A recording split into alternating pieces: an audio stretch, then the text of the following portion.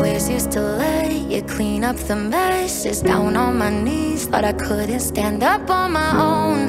Turns out sometimes you're stronger alone. Hey, Mike Shimwell here, host of the Shunned Podcast. If you want to tell your story, buy a t shirt, maybe some merch, uh, maybe get some additional resources, you can do so at shunnedpodcast.com. If you want professional help to heal and recover from life in a cult so that you can figure out who you are and what you want out of this life, or maybe you just want to figure out where the patterns from the past might still be showing up in your life today, uh, you can find help at exjwhelp.com. Again, that's exjwhelp.com. And every episode of the Shunned podcast has helpful links in the podcast and YouTube descriptions. So if you need something, you can always look there. And now let's meet our guest. My name is Justin. I'm 28 and I am shunned ish. All right. And Justin, um, what group did you are you shunned ish from? I am shunned from the Jehovah's Witnesses. Right. So, how did you get involved with Jehovah's Witnesses to the first place? Is it something you were born into? Um, I'd like to say I was born into it. Uh, uh, my mom was studying um, years before I was born. Uh, she had two older kids, and she would potentially study with them, you know, go back out. Um, but the way she got in was because of my her aunt um, she was Jehovah's Witness. Um, and my mom, when she graduated high school, she went to stay at college with my aunt. And for her to stay there, my aunt told her that she needed to go to the meetings. So my mom, she'd been looking for, you know, um, the truth, I guess you could say, or the right religion to join because her mother wasn't um, really religious. Um, she didn't really put anything on my mom or her sister, her younger sister. Um, but my mom would get up and want to go to church. So she got baptized in a Baptist church at the age of 16. And she went on to go live with my aunt, her aunt in um, Savannah, Georgia. And she went to the meetings. My aunt's husband was an elder. Um, they had one daughter. And some things went on there um, to where she had to leave. Nothing of her doing, but everything of my aunt's husband's doing. Um, there were some things that he was hiding that he didn't want to come to light, and he was afraid having her there would expose him. So she left at Savannah and she came back to Atlanta. That's where she was from. And she had my sister, my brother, and then a couple years later, she had me. So in between that time, she would study with the sisters if they came by. She may go to a meeting here or there, but um, especially after I was born, that's when we moved to the country uh, near Augusta. Um, we lived in a trailer on my grandma, my great grandmother's land, so we were right next door to her. So I grew up uh, my f- first like seven years with my great grandmother, my great aunt, and my great uncle and then my mom, my stepdad, and my brother and sister who are older than me. Um, so the beginning of life, I like to call it, was very nice. Um, we were we went to the Kingdom Halls. I remember we would go. We would sit in the back room a lot because we always get there late. Um, but I still celebrated my birthday. Um, my mom would go all out for my birthday. So I had themed birthday parties from Rugrats, Lion King, you know, dinosaurs, um, Sesame First of all, Street. that's awesome. But was that so? Were you you you all celebrating birthdays because your mom she wasn't baptized at that point? She was still just no. studying. Yeah, she would study. We would go occasionally to the meeting. Um, I never knew any other religion. We never like she never took us to a different church. It was always the Kingdom Hall or nothing. Um, so as a young person, a little baby boy, uh, she would tell me, you know, I had a little Bible book story, you know. Um, I forget what it's called. It's been so my book of Bible stories. Yes, my book of Bible stories. And I know a lot of people that I've heard they say like, oh, the pictures were kind of crazy, they're scary. I'm a little morbid I kind of like the photos. You're I'm not the only dra- one. I'm a little dramatic, so I'm like looking at like Noah's Ark and the people like screaming out, you know, trying to get help and the lightning and the thunder and the waves. And I'm just like, that's kind of cool. I'm like, it's kind of messed up that these people are dying because I don't like that. But I'm like, the scene is kind of nice. Um, but I was very inquisitive. Um, I was shy with adults. I didn't like adults other than my parents, you know, but I was afraid of every other adult that was around me. So I was open minded and I'm still open minded. Um, but I would ask crazy questions that I remember. And my mom would just be like, you know, well, Jehovah does this and Jehovah does that. And I'm just like, who the hell is this Jehovah guy? I'm like, okay, what does he do? She's like, he's God, he's up in the sky. I'm like, all right, well, who are his parents? And she's like, he doesn't have parents. I'm like, you know, I'm like four or five. I'm like, I'm trying to compute. How does he not have parents? Where does he come from? Like, who is his mom? Like, is there a mom God? Is there a dad God? and so, logical questions for a kid, right? You're very logical. I was always thinking. That's why I say my mind is always going. I talk a lot too, but my mind is always going. And I was just like, this don't make no sense to me. I'm like four or five. But I'm like, I like my book of Bible stories, you know, seeing Cain kill Abel. it's like, oh, this is interesting. It's like a TV the show. kid who was just there for the violent stories. yeah, and the funny thing is, I'm not a violent person, but like you know, little boys they like to see stuff blow up and stuff. But sure, you know, I'm not, you know, I'm not an arsonist or anything. But I was just like, it's interesting. It was dramatic. It entertained me. So we would go to the meetings and I would sit there with my book of Bible stories and they're talking, they're jibber jabber. I don't know what they're saying. And I could care less. But I'm like looking at the pictures, the nice, colorful pictures. And I'm just like, oh, a pillar of salt, you know, oh, that's nice. I wonder how that happened. you know? So those are my early memories of it. And my aunt, um, uh, she's no longer with us now, but she would come from Savannah. She would bring her daughter. I don't remember her husband ever coming. Uh, uh, I don't think he was, you know, welcome. Um, but she would come visit her mom, who was my great grandma next door. And I just remember she was so sweet and she had this energy that just I gravitated to. And like I said, I was terrified of other adults. But she was like one of the adults who I was like, oh my God, she's here, you know? And I'm like running out in my little overalls, barefoot, because we're in the country, running over to her. It's like, hey, Auntie, Auntie. And she's like, hey, and you know, But I'm like, you're a Jehovah's Witness. My mom studies, so come come talk to my mom. you know, just trying to get her to come over and talk to my mom because I'm just like, we're studying the same thing. And um, she was so sweet. Um, she was very laid back, chill, very. Uh, she was like her mom, my great grandmother. They're very quiet people. Um, my my granny, and I'll probably talk about her later on. my mom's mom and my other aunt, they're firecrackers, and I think I'm I'm kind of like them, but you know, I don't take no shit, but um, they're firecrackers, so they were a little bit different. She was very nice and sweet and soft, so I like to go to her. Um, but yeah, I celebrated my birthdays. We didn't celebrate any of the holidays, so I didn't do Mother's Day, didn't do Father's Day. We did Christmas one year. I think I was six years old, five or six, and my mom was like, "We're gonna do Christmas one year," and I was like, oh, Christmas. Like I I never had a Christmas before. I'm like, this is new. You know, I kind of feel normal, like the other kids at school. And um, we did Christmas, did the tree, did the gifts under the tree, and I was just like, oh my god, like this feels so nice, and I have still good memories from that.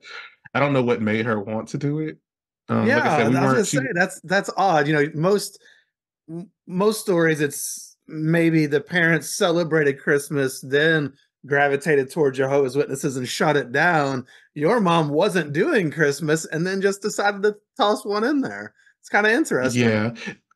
Yeah. And I mean, like in her life, she celebrated everything. My granny, you know, she she was a single mom. My um mom's dad, I can't call him grandpa, it's just weird. My mom's dad, uh, her husband, my granny's husband died when she was four and her younger sister was two. So she raised them as a single mom um, all the way up. But they celebrated holidays. They went to their proms. They had Christmas. They had their birthdays, you know. And so Mm. for me, I had my birthday, but I don't know, I didn't think too much on it. Um, but I knew we weren't supposed to celebrate Christmas, but that random year she just decided, like, we're gonna celebrate Christmas this year. And I was like, oh yay, you know? And um my brother and sister had celebrated Christmas, of course, because they're nine and seven years older than me. Um, so I'm like, cool. And um, um, I just felt normal for the first time. I don't know. I just felt normal with my family and, you know, kids at school because little kids were doing Christmas activities. And that's why I always look back on that time as like the joyous years because it was just, I felt normal. So um, I got to age seven. I celebrated my, what would be known as my last birthday. um, had a good time there. My mom has an uncle. My uh, she has an uncle, and he had just got married, and he wanted her to work for him in Alabama. So the home that I know, um, I was born in Atlanta, Georgia, um, Southwest side, and but we lived, we moved to um the country. So I've only known this place. So we left and moved to Alabama, place called Prattville, Alabama. And I was just like, oh my God, it's new. I was like, it's like a suburb town. Like they have a mall, they have shopping centers and everything. Um, so I was kind of excited. I was very outgoing as well as a child. So like I had friends in school, you know, I had friends in the neighborhood that I played with. Um, the congregation that I went to when I was in the country didn't have children. It was mostly older people. Um, a lot of older people not any kids at all. so I was happy, moved there, played with the kids in our apartments, um, played with the kids at school, you know, it was normal. But um, we started going to a New Kingdom Hall. And um, it was called the Prattville Congregation, I guess you could say. I don't even remember. Um, and there was a sister there that um, gravitated towards us, and she kind of took my mom underneath her wing. And sweetest lady, like very sweet. Um, she almost reminded me of my aunt a little bit. Mm. She's very meek, um, calm, um, respectful. So you respect her. Um, so she took my mom under her wing, and I noticed once that happened, things kind of started changing.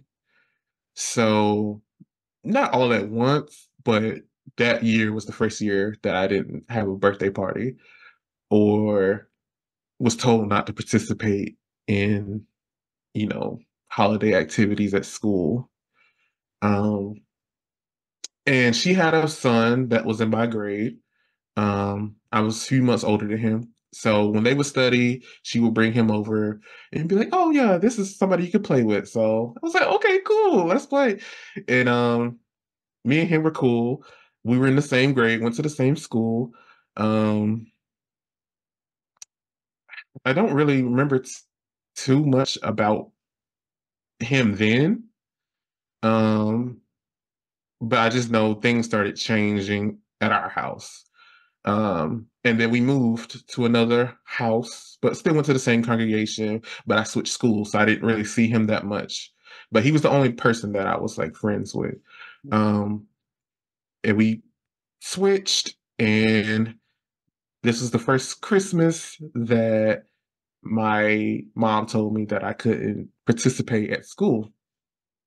So I went to school and I was scared. I was like, I don't know what to do. What am I going to tell my teacher? I can't participate. I got to go somewhere. Like, will I get in trouble for participating? Because once again, I'm not, I don't like who is God. I don't know who God is. He's this person that's in the heavens, but I'm like, I answer to my mom. So my mom tells me I can't do this. I'm like, I can't do this. So I'm not scared of displeasing this person they say is Jehovah. terrified of displeasing mommy. I'm like, I'm gonna get in trouble. So the day went on, it was time for the Christmas party, and I'm nervous. I'm in my chair. I'm I don't know what to do. Like, I don't think I was given any direction other than don't do it. So I'm like, what do I do? Do I just tell them no? Uh, I get a call um, in my homeroom over the intercom for me to be checked out. And I'm like, oh, mom came and got me. That's what she was planning on doing. So I go to the office and we get into the car, and I'm like, oh, so mommy saved me from the Christmas party. and then she was like, your aunt, my aunt that lived in Savannah, the other Jehovah's Witness, she collapsed this morning.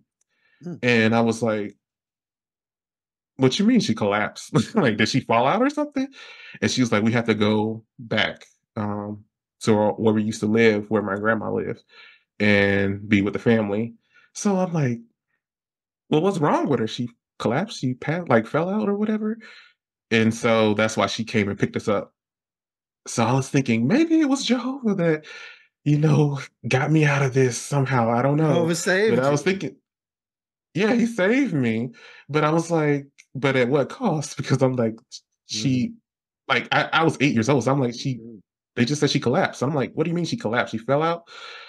Um, don't know what happened even still to this day, but she um end up passing, I think a couple days later, right right before Christmas time. Wow. So we were about to be out. Yeah, and it was the first death that I dealt with in my family. I never had to deal with death before. And I remember I was like, wait, she was my favorite aunt. Like, she was so Yeah, sweet. and that's sudden and shocking for a little kid who's never been exposed to this. Yeah, I was like, she was so sweet and kind. And I remember we were riding down, and my mom was just talking all these stories because she would spend her summers as a child there with her, um, with her sister and her other cousin. And I was just like, you know, what's going to happen to her?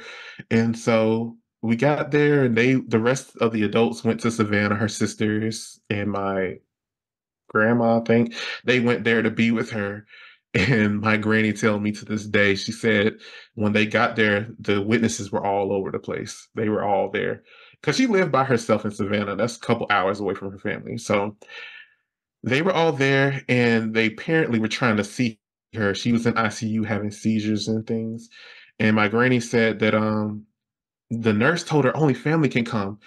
And she was like, I'm her sister. She's like, Well, these people said they're her sister. She was like, No, I'm her blood sister. and so her and her sister got in to go see her and you know take care of her. But um that was that would have irritated the hell out of me. It would have very much like irritated me. Um so she passed and i kind of didn't understand what that meant i guess at the time. I knew she wasn't here anymore but i guess that's kind of when the hope of everlasting life came into play. And I remember my uncle, my um, granny's youngest brother, sat me down when we got back to Alabama, and he was like, I was sad, I guess he could see. And He was like, you know, well, she's in heaven now with um, your granddad, and they're probably fussing up a storm up there now. And I was just like, oh, that makes me feel better. Like she's up, you know, up in heaven arguing with her dad, probably, you know?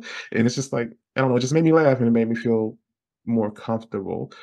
Then she's just gone and that's it. Um, or that we have hope for everlasting life. So we left Alabama after that. Don't know why. My mom said she wanted to be next to her grandma since she just lost her daughter. And so we moved back to the country, uh, back to the same old stuffy Kingdom Hall, no windows, very dark. Uh, probably fell asleep every meeting because it was boring. I don't know what else to say. Um, I noticed during that time my mom was going through a depression, and I think she suffers with depression a lot. Um, this is also right after she lost her aunt, right? yeah, she just lost her aunt, and my mom she doesn't deal well with death. She doesn't like going to funerals. She doesn't like talking about it a lot. Um, when her granddad died, she was very close to him. She didn't want to go to his funeral, but her mom made her go. and um, the, the family was actually upset with my aunt, who was a witness, because they had the funeral at a church and she wouldn't step foot in. Mm. So they were kind of pissed about that. Um, and my family, we're pretty tight knit. So we're a pretty tight knit family. You know, we're like a normal family. We fuss, we fight, we get along, we laugh. Um, so for her to be on the outside, it was kind of different for them. Um, so at the time, my aunt Liz, her daughter, they were the only witnesses in the family, and my mom studied. Um, my cousin, she started studying. Uh, one of my aunt's daughters, she started studying. She had a son, a young son. Um, she got baptized in I think 2004, so a year after my aunt passed away. And I was like, "Why is she baptized?" And I'm like, "We've been in this for years. Like, you know, she just got in this." And I noticed a change in her, which I thought at the time was good because the homegirl was wild. so I was like, "This is good for her." Um, and I'm like, you know, we're bringing them in. We're bringing them in to this good thing. I didn't know anything about shunning. I didn't know anything about worldly people. I didn't know anything about any of that. They're just my family members and we're family, you know. So my mom went through this depression. Um I started noticing a, a lot of changes as well with me and my brother. We weren't we were never close.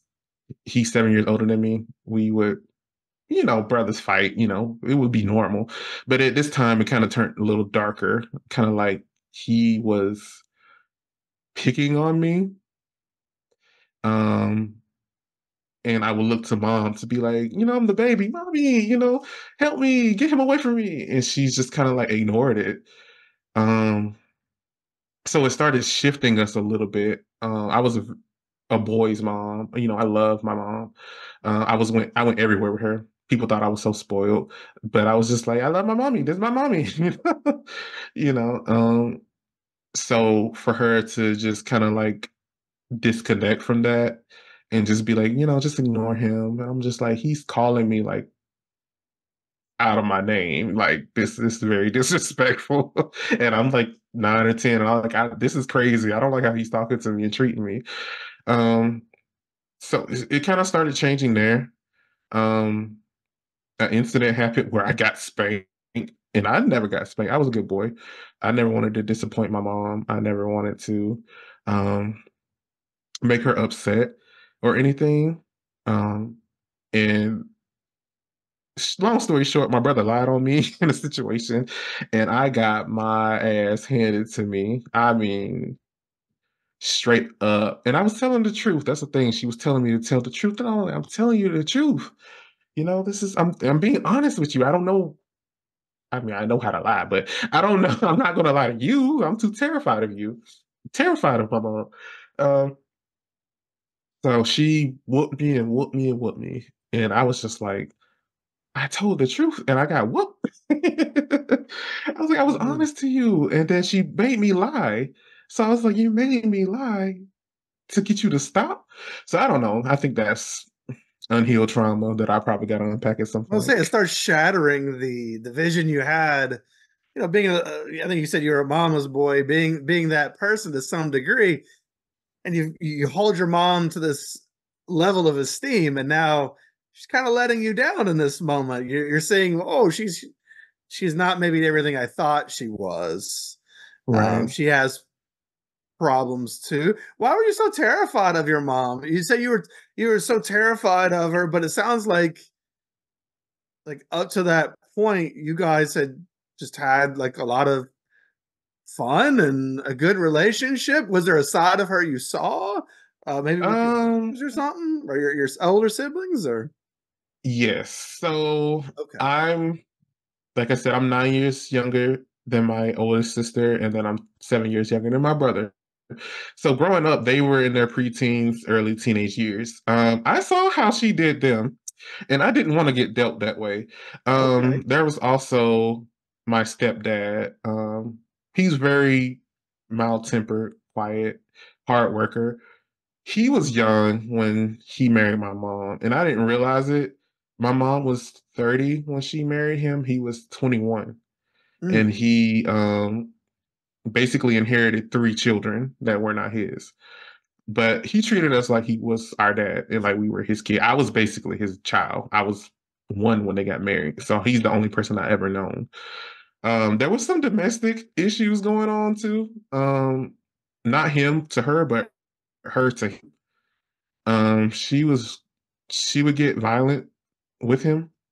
Um, while we were there, and I would see it all the time. Um, so I think I was just like, yo, this is a powerful woman. I don't want to mess with her. I don't want to get on her bad side because I've seen the things she could do. And I mean, like, my stepdad was like six two at the time, probably 300 plus pounds. And she could throw him like a rag doll if she wanted to. And I was just like, this scares me. um, I'm not gonna mess with her. And also, I think I just didn't want to let her down. I like I wanted her approval. I didn't want her, her to be upset with me because she was like the number one person in my life. Like my mom, just my number one person. Um, my sister was number two sometimes switch. it depended. Um, I relied on my sister a lot. Me and my sister were extremely close. Uh, we still close to this day. I would leave out of my room with my brother and go run into her room in the middle of the night to go to sleep because I knew she would protect me. I was like, he gonna let my ass die. he gonna let me die. I was like, I'm gonna go to big sister because she's gonna protect me and she's gonna make sure I'm good. So just, me and my like sister nightmares or something, or or uh night not really nightmares i just i would wake up in the middle of the night and like dark places creep me out like the closet being there creep me out and i was like he's not going to protect me he's going to leave me so i'm like i need to go to my sister so i crawl out of my bunk bed and i will always go to my sister's um, room and i would sleep with my sister pretty much all the time um, and I forgot to say, when we left, she didn't come with us. When we first moved to Alabama, she stayed. So that was my first time being away from her. It was just me, my brother, my mom, my stepdad. Um, so that was my first time being distanced from her when she wasn't living with us. And but at the time, I was all right. You know, I wasn't. I didn't have the heat on me. She had the heat on her. Um, her and my brother didn't get along. They fought all the time, and her and my mom didn't get along. Um, I remember when I was younger, I used to think that my mom hated my sister. I was like, why does she not like her? Um, and I think it's because my sister's opinionated just like she is. Um, and she's, um, you know, she doesn't need a lot of help. Um, she's very ambitious. She always strives for more. Um, she played basketball. Both my siblings played played basketball, got scholarships to colleges and stuff. Um, but yeah, mommy, yeah, I didn't want to mess with her. Um, and it seems like in this moment, um, when you're you're the object of that um, anger, it sounds like uh, that kind of maybe changed things a little bit, or things started to change there.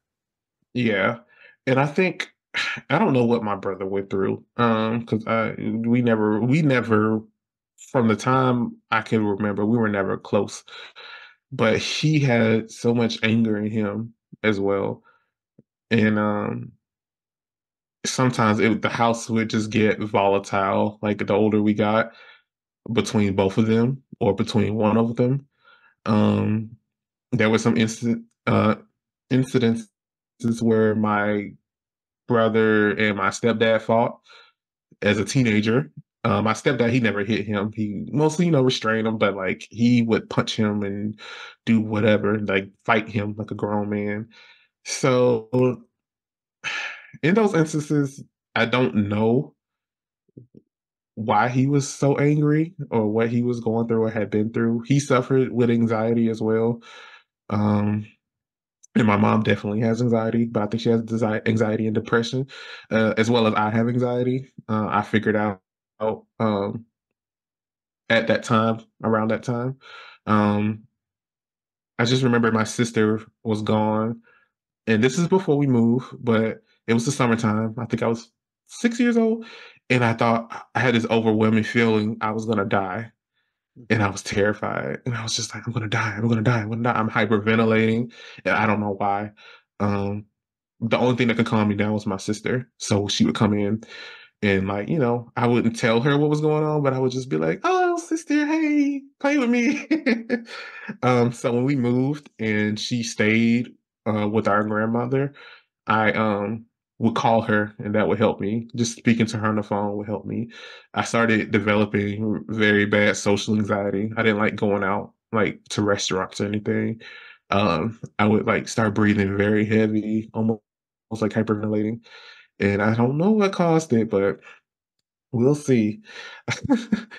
um, but yeah, we just sad were to see a, such a precocious sounding kid who loved to go talk to people and and it seems like you had a lot of an outgoing personality and it sounds like things started changing at some point um yeah, and I think it was all internally in our anxiety household.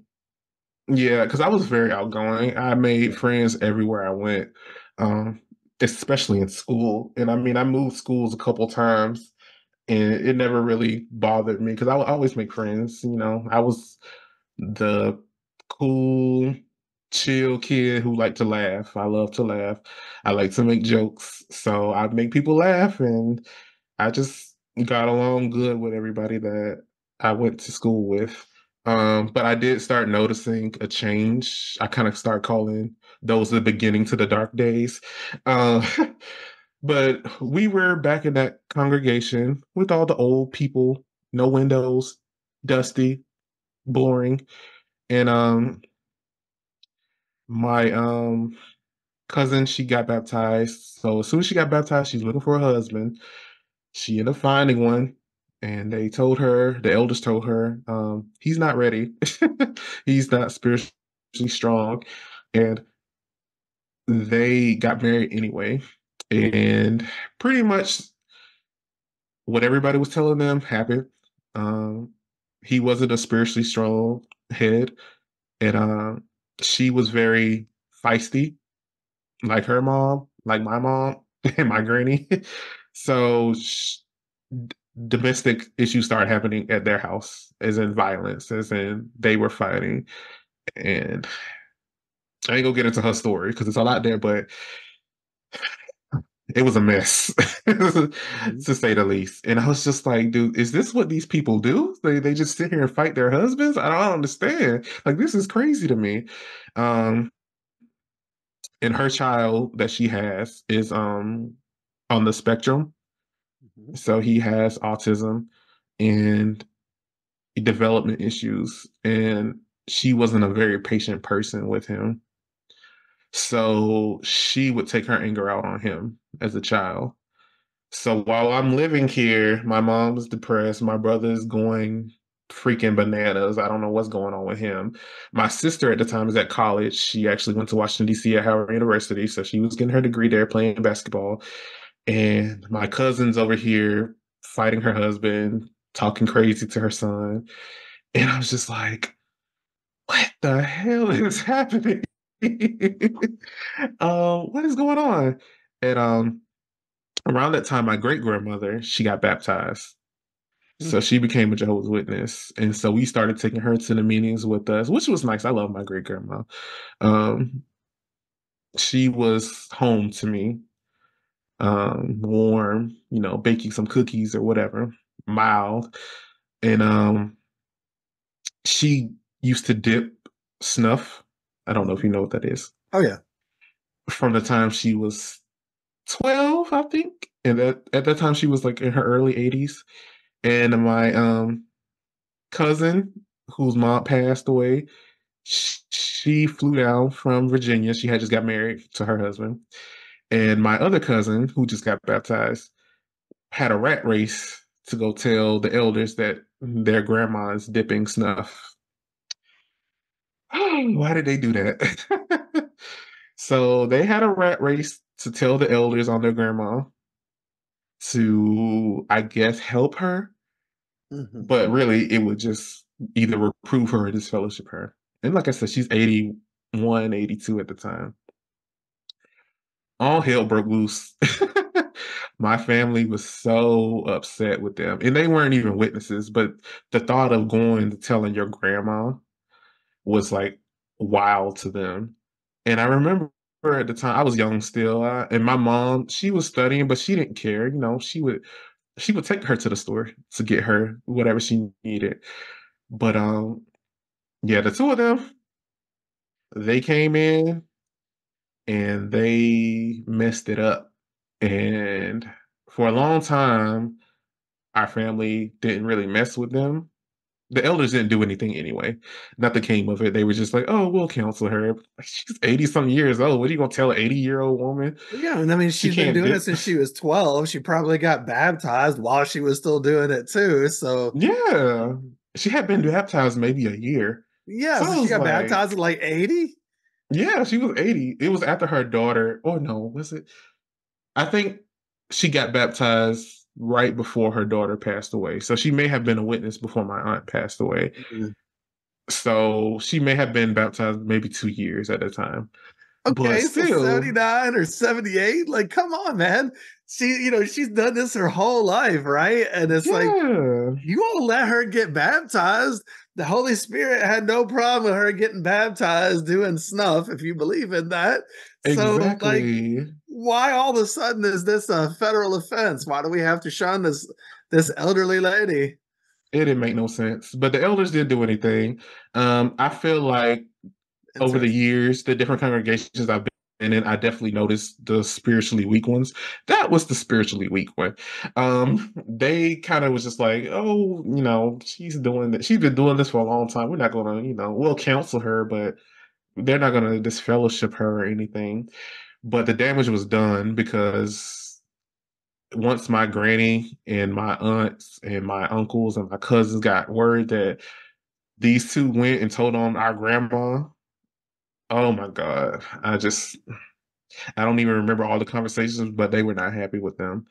Um so I remember going to, you know, assemblies with my grandma. Um we would she would ride with us because her and my mom got along very well. And and um we end up getting relocated again back to Prattville, Alabama after my uncle got another job that he wanted my mom to work for. So we moved back um, we didn't go to the same congregation that we went to before. It was a new congregation. It was called the Millbrook congregation, and they had just built it. So we met up with this sister that um my mom pretty much like, you know, she took her under her wing or whatever. And so I had my friend back. I was like, oh, you know, I know him, you know, like we're cool. Uh, and between this time, before her husband wasn't baptized, he was he didn't go to the meetings in two years he'd been baptized. So he's going to the meetings now too.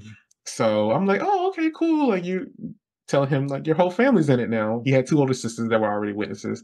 So i'm like you know this is the model family that i can look at like look at me and my parents and whoever can look at. Um now that i look back at it they weren't like elders and you know all that. They were just like normal people. I mean his mom was probably a pioneer but um sweet lady very sweet. Both of them very sweet um, so I'm like, okay, cool. You know, we're back here. We're going to this new congregation. Um, they just built it, so it's new. It has windows in it. I'm like, oh my god, it's so bright and shiny in here. I was like, this atmosphere is nice. Um, so I end up being zoned to a different school, so I didn't go to the same school with him for like the first three months. Um, so I would only see him at the Kingdom Hall. So I had a little bit of a hard time making friends at this new school. Um, I started getting chunky. Before I was a skinny toothpick with a big head. I looked like a lollipop. Um, Q-tip. yeah, and um, I started gaining weight, which was another thing that my brother brought to my attention that really bothered me. He would be like, "You're fat ass" and all this and that, and I was just like, I don't know, it like hurt me. like he he basically could have just took a knife and just cut me like through my throat, and like it hurt so bad. I was just like, why am I gaining weight? And it was just my body, you know, you're changing, you're going through different stages in life. I was like 11 years old, 12 years hmm. old. So I'm gaining weight and I noticed it. Other kids notice it. They know my family notices it. And I'm just kind of like, this is uncomfortable. I don't I don't like this body. And I got started getting made fun of for being fat. And I look back at me now. I was like, I wasn't fat. I just had a little belly. It was like it was all right. It wasn't bad. But um it was definitely something I wasn't used to. Um so at this new Kingdom Hall, and this was the first time there was a lot of kids my age. There were a lot of boys that were my age. And in the past, I only had friends that were girls. Um, that's who was all on my street. Those are who the people I gravitate to the most. I'm always friends with girls. So this is when I started noticing the differences between me being able to have friends at school and me being have, being able to have friends at home. So or at the Kingdom Hall. So they were like, "Oh, all these young brothers, we're all the same age, just a couple of us, um, like four, five, five, six, seven of us." And I'm like, "Okay, cool. Like, I I don't usually play with boys, but I can play with the boys." And they're like playing football and all this and that. I'm like, "Football?" I'm like, "I don't really like football. I like kind of like hide and seek or house." and so I'm like, "Well, where are the girls at?" There's some young girls here, but I'm like, I started realizing that like I couldn't talk to them. Like I couldn't be friends with them. Like they wanted me to be friends with these boys. And I'm just like, all right, I guess so, you know. So I end up moving back to um the old school that I used to go to. It was an elementary school. So I was in the same school with my old friend. So we were, you know, doing the same things again, but now I had eyes on me. So he was his family was very spiritual. So I couldn't do like the Christmas parties or anything. I couldn't, you know, salute the flag, which I didn't do anyway. Um, but he was there always, and his mom was there too because she didn't work. She, you know, stay at home mom, pioneer. So she would come up to the school often. And so she would know when things were happening. My parents work all the time, so they didn't know. She would know. So she would be like, "Oh, well, they're gonna have this, so the boys can't go to that." And she studied with my mom, and so my mom would be like, "Oh, well, sister so and so said, you know, this is happening, so you can't, you know, you can't participate in this." And I'm like, "God damn, she's a snitch!" like, what? You know, and um, at the time too, the dad, their um, his dad was studying with my stepdad. So, you know, the family were studying together, we were playing together. So eventually, um, I would mostly just gravitate to his family in the Kingdom Hall. I didn't really mess with anybody else. I tried to make friends with some of the other boys, and they just weren't my type of people. Mm-hmm. And that's what frustrated me the most because I'm like, I you know, I'm a good judge of character. I know what works with me and what doesn't work for me. And I could see right off the bat, I was like, these boys don't work for me. I'm like, I don't the type of boys they are, I don't like them. Not I don't like them, but I'm just like, we aren't compatible. Mm-hmm. And so I'm like, I don't want to waste my time on relationships that I know aren't viable or, or, compatible. Me and him, we're cool. Like, you know, he's my friend. Um, I still have friends in the neighborhood I played with. And he kind of thought that was taboo. He was like, You get to spend the night over your friend's house? I was like, Yeah, I get to spend the night over my friend. How are you talking about? I'm like, he lived downstairs. Like, this is my bro. Like, I go play video games with him or whatever. Like, he's cool. He's like, Oh, I don't get to spend the night, you know, with my friends. He had a friend that we went to school with on the other side of his house. He could not go over there. And the other boy, I don't think could come to their house. So they shared a fence. So for them to like have a sleepover, they will both set up tents at the fence and spend the night in the tent. I know, and I was just like, I was like, bro, why why can't you just go over there? Why can't you come? He's worldly. Yep. I'm like, okay, so what does worldly got to do with it? I'm like, what are you talking about? He's like, they're worldly. We're not supposed to be around them. I'm like, well, what's wrong with them? I'm like, this is normal people like we are. Like, I don't know. I, I, I couldn't compute. It didn't compute to me. So, um, this congregation that we were in, I would consider it to be a very spiritual congregation. We had a lot of elders. Whoever the COBE was, I have no idea.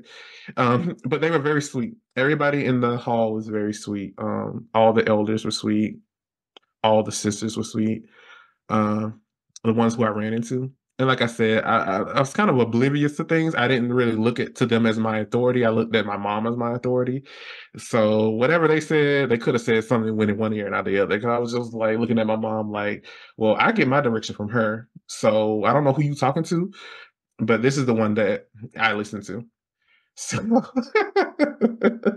so basically we started I guess progressing. My mom started progressing spiritually. She's studying with the sister. She's getting more into it. I have my friends that I play with. I have my friends at school. Um, the biggest change that happened was it was the end of the school year, and I had developed this good group of friends. We were talking on the phone for hours. We were in the sixth grade, and they were like, "We plan to go bowling, and we plan to go back to one of their houses to watch movies, you know, play around. We were like 11, 12 years old. And she called me while she was at work because I was waiting for her to get off because she was supposed to give me a ride to the bowling alley. And she said, um, You're not going to go to that. Previously, she told me I could. You're not going to go to that. I said, Why? Um, they're worldly people. You don't need to be around those worldly people. I said, But mama, they're my friends. I was like, "What are you talking about? Like, these are my friends. These are the people. I, you know, I'm on the phone with them. You know about them." And she's like, "Yeah, no, you're not gonna go to that. You're not gonna do this. You're not gonna do that." And I was just like, "Can you explain to me why? Like, you know, what was the reason? What was the reason why? Why can't I go with them?" Oh, I was heartbroken. I was so upset. I cried. I cried. I cried. I cried. And um, I missed the bowling alley, but she eventually got off work and she let me go to the house. But mm. she went and she met his parents and she let me go. So I was okay then, but that was kind of like the first step in things are changing. And I'm like, I don't know why, you know, and I'm not used to this and I don't like it. Um, other things started changing as well. Um, the TV shows that I could watch. Um, I don't know if you know, but because I'm I'm only 28, so back when I was a kid, they had like the show like That's So Raven. She was a psychic on mm-hmm. Disney Channel, and I loved the show. Loved it. Watched it all the time. Um, my friends started coming over while our parents were studying, and we'd be in my room playing or whatever, watching TV, and That's So Raven come on. He's like, "Oh, you can't watch that." And I'm like, what you mean I can't watch that? Like, oh, she's a psychic, you know, that's demonistic and all this and that. And I'm just like, okay, so um Fairly Odd Parents. Love watching Fairly Odd Parents. So I was like, oh, they're magic. You can't watch that. I was like, all right, bro. You every time you come here, you're telling me something that I can't do that I like doing. And I'm like, what is going on here? So I guess he told his mom, and my his mom talked to my mom. So she's like, yeah, you can't watch this show. You can't watch that show. I was like, all right, fine, whatever. I had a favorite show. Um, it was called Avatar Last Airbender. It came out on Nickelodeon. Hands down, best show in the world. Especially at the time that I was a child growing up. Um, and my mom, she watched it a little bit before, and it's kind of like supposed to be like this um Eastern inspired world, but in a Western way. so it's a lot of you know um spirit realms and all this and that and i absolutely love the show shout out to who anybody who knows what i'm talking about and love it too best show um love the show so much um had the little action figures for it and my mom she would be like they're talking about this spirit world. What is this? And I'm just like, it's just a spirit world. It's just where they go, you know. You know, I'm not thinking nothing of it the sister um, that my mom studied with, my mom asked her about it. So she did her research on it. She came back with a bunch of rigmarole, hoopla, I like to call it, and was saying that the the styles that they were using, because they would bend things like water, air, earth, you know, all the elements, so they would move it. And she somehow came up that it's demonic and all this and that. So only Jehovah can do that in the Bible, right? He can And move I'm the like- water and shape things, but not not not cartoons or whatever. Exactly. And I'm like, it's a cartoon show. Like, baby, this ain't real. I don't know what you're talking about. So she was like, this has demonic stuff in it, and they use demons to move this and that. And I'm kind of like, I'm a realist person. I'm like, this sounds like a bunch of shit to me. Cause I'm like, what are you talking about? This is a cartoon show. None of this is real. This is just made up. Like, this stuff isn't really happening. Do you know this? So my mom came and she took my action figures and told me I could not watch this show anymore. I threw the biggest fit in the world. I said, I be damned. I was like, this is my favorite show. I cried and I begged and I pleaded. I was the moment, please, please, please don't take this away. And I could not watch it. Could not watch it. And that broke me. that little show broke me because it was my favorite show. Um, but then I, I I was realizing things are changing, you know, Mhm. um, the way I was normally living my life. Kind of like, you know, I wasn't crazy. I didn't do anything crazy. But the little things started taking place. They started changing. Um, my mom started getting more spiritual. She was like going out in field service and she would take me with her. And I'm like, okay, we go go out and field service. But I was like, why you got to do it on Saturday morning? Okay, because you know this is my time to sleep in. I ain't watching no cartoon. I slept in. Uh, I was like, we already got to go to the meeting on Sunday, and we had meetings there on Wednesday instead of you know Thursday or whatever. Mhm. So I'm like, you know, I'm already doing all this stuff. Man, what you talking about? We got to wake up on Sat. I got to wake up Saturday morning and Sunday morning. I was like, oh no, baby, no, no, no, no, no, no. this is my time to sleep in. Um, so we started going to field service, which I actually enjoyed because it got me out of the house and it got me to be around these people who I was trying to get to know. We were close knit to our family when we lived in Georgia. We lived in Alabama. We didn't really have family. It was the witnesses. That was it. So we started cultivating relationships. I'm like, these people are cool. They're funny. They're a little quirky. They're not bad. Um, I can get along with them. I, I had fun with them. I like listening to the stories they would tell. Um, I would get out, go to the door with them, watch them talk to people. I'm like, oh, just nice, you know. So it was more like a social event to me than it was anything else. Um, and my mom got baptized after my grandmother passed away. Mm. My great grandmother, she passed away in 2009, and um, my mom got baptized later that year. Um, but I thought it would be such a big event since it's so important, like your baptism. Um, my cousin got baptized, and everybody was there, even the family that wasn't witnesses. We they were there to support her because this is something that was big to her, and that's just how my family is. They support each other. We all support each other, you know, whether we believe it or not. Like they're not witnesses, they were, but they were like, "Well, this is something big in her life, so we're gonna come and support her." They brought the cameras and everything, um, so I know that made her feel really good. So my mom got baptized, and I'm like, nobody's here. It's just us, me, my dad, and my mom. Um, so I was just like, why is it nobody else here? Like, what? Where is her? You know, picture taken and everything. Um, my mom is very isolated. She's kind of like she she stays away from people a lot. Um, especially when things are happening with her, she doesn't really like the attention. So that's what I learned from that. Um, but um, she got baptized, and pretty much when she got baptized, everything changed. It was it was so much different, and it sucked because I was going into my teenage years when she got baptized. So a lot of things are already changing, you know, hormone imbalances. I'm moody. I'm horny for no reason. Don't know why. And it's just like everything's changing, and the, it seemed like the more, the older I got, the more it was put on me. Like, I guess, like things that are fun or things that you enjoy are sins and bad. it's shameful. You should feel shame for them. And I was just like, I don't understand. Like, this just can't be right. Um, my mom also has a condition called fibromyalgia, Mm. where she has, you know, flare ups and pain. And back when this first started, she had a really bad flare up and she was in so much pain she couldn't even leave the bed. Like she was just stuck there. And while she was there, she was in pain and she was crying.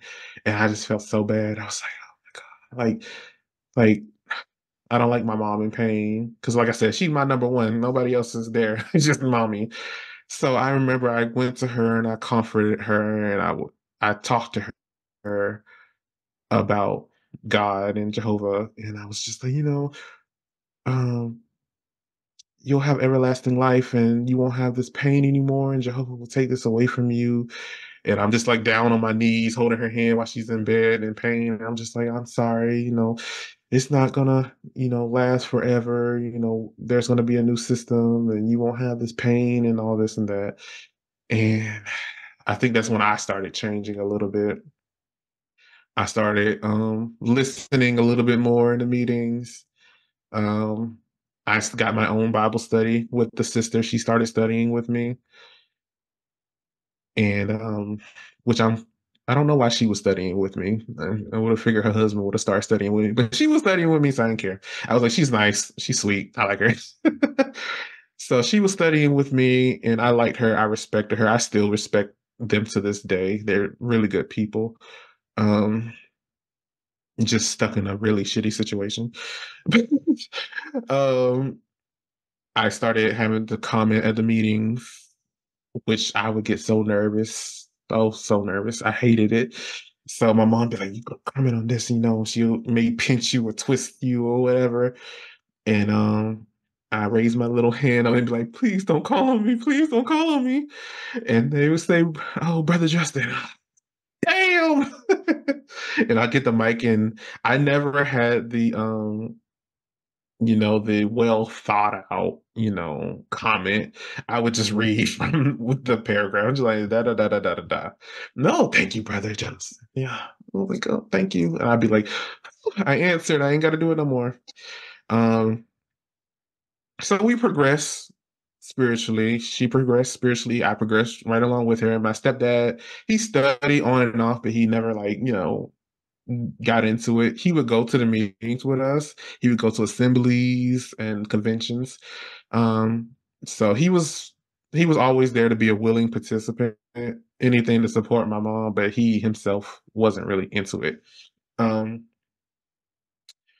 but I, I, I remember in that time because my parents worked normal jobs. You know, they don't have college degrees. My dad, he didn't even have a high school degree, so he worked at like the Waffle House, and he worked like you know three jobs at a time.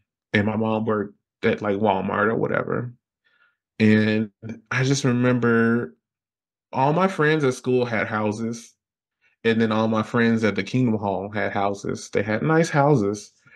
Um, they were a pretty pretty well off congregation. They weren't, you know, they weren't like rich rich, but you know, like they were, you know, middle class, mm-hmm. Which I wasn't used to because the other hall that I went to, everybody pretty much skated by. So I was just looking around. I'm like, everybody here has houses. Why don't we have a house? And I started looking at my parents and like, why, like, can't you do more? Like, like we're sitting here in this apartment, and I'm like, everybody I know has a nice house. Like, they don't share walls with other people. And I feel bad for that now because I'm just like my parents, they did the very best that they could. And I never went, you know, hungry. I never was homeless or worried where I was gonna live. Um, so they did a great job, I say. Um, but at the time when I was a little kid, I'm just looking, I'm just like, they have these things. And I'm, I'm like, we're doing the same thing. So why can't we have that as well? Um it's just it's just random. But uh, I started noticing that too. Um, you've talked about it before. Um, the suits. I got my suits from the thrift store. Mm-hmm. Um, all the brothers there, even the little boys there, they had the nice little three piece suit, clean, iron, t- nice bow tie tied around and everything. They were clean from head to toe. And I'm walking in with like some baggy pants and a shirt from Walmart tucked in with a tie, clip on tie. And I'm just like, I don't look like these people. And I'm like, they look so nice. I'm like, why can't I have this? Like, why, why do I look like this? I'm so embarrassed. And then finally I started getting a jacket because I guess the brothers told my mom I need a jacket or like Mhm. start wearing like, you know, like a nice jacket. But then I'm like, it's mismatched and all this and that. And I would just be like, I'm poor. Oh yeah, you know, you know when you don't fit in economically.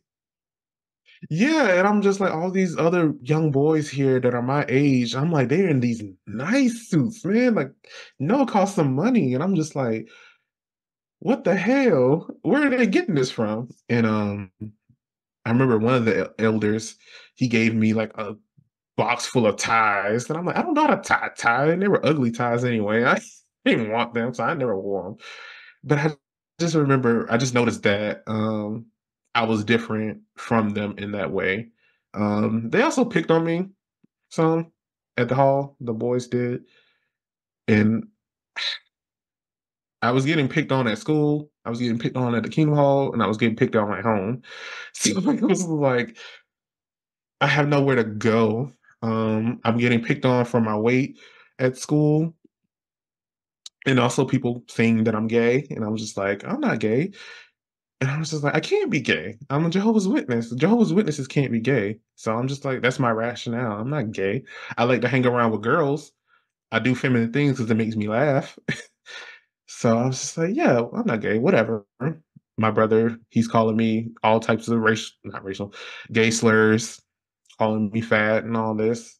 And I get to the Kingdom Hall and they're picking on me for whatever reason, you know, for this reason, that reason. And I'm just like, I don't like these people. I'm like, the people that I made friends with, they don't pick on me. So I'm like, in my head, I'm just like, these are my friends.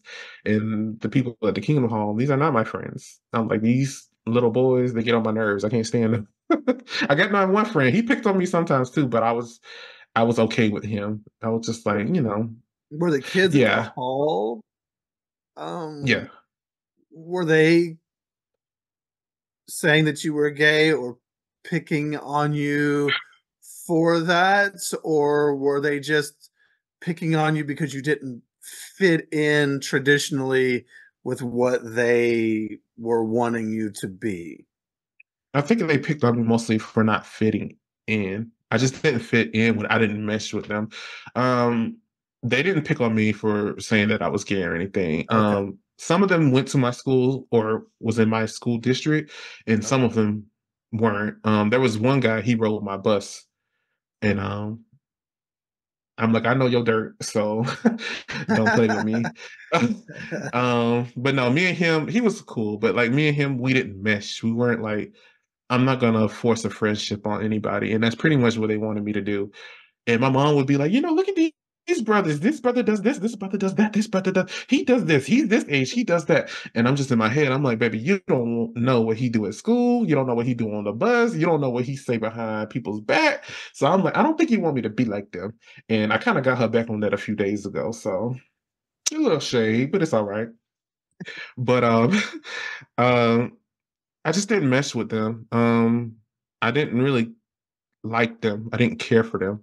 Like I said, I mostly made friends with girls, and that hall only had a few girls, but like I could, they were unobtainable for, to me. I couldn't even be around them, and some of them had really nasty ass attitudes, and we wouldn't have got along anyway. But other than that, everybody, like I said, in the congregation was nice. The elders, I loved them. They were very nice to me. Um, I try to look back now and see like was there anything there where I just didn't see it? But I look back and I'm like, no, they were they were always helpful.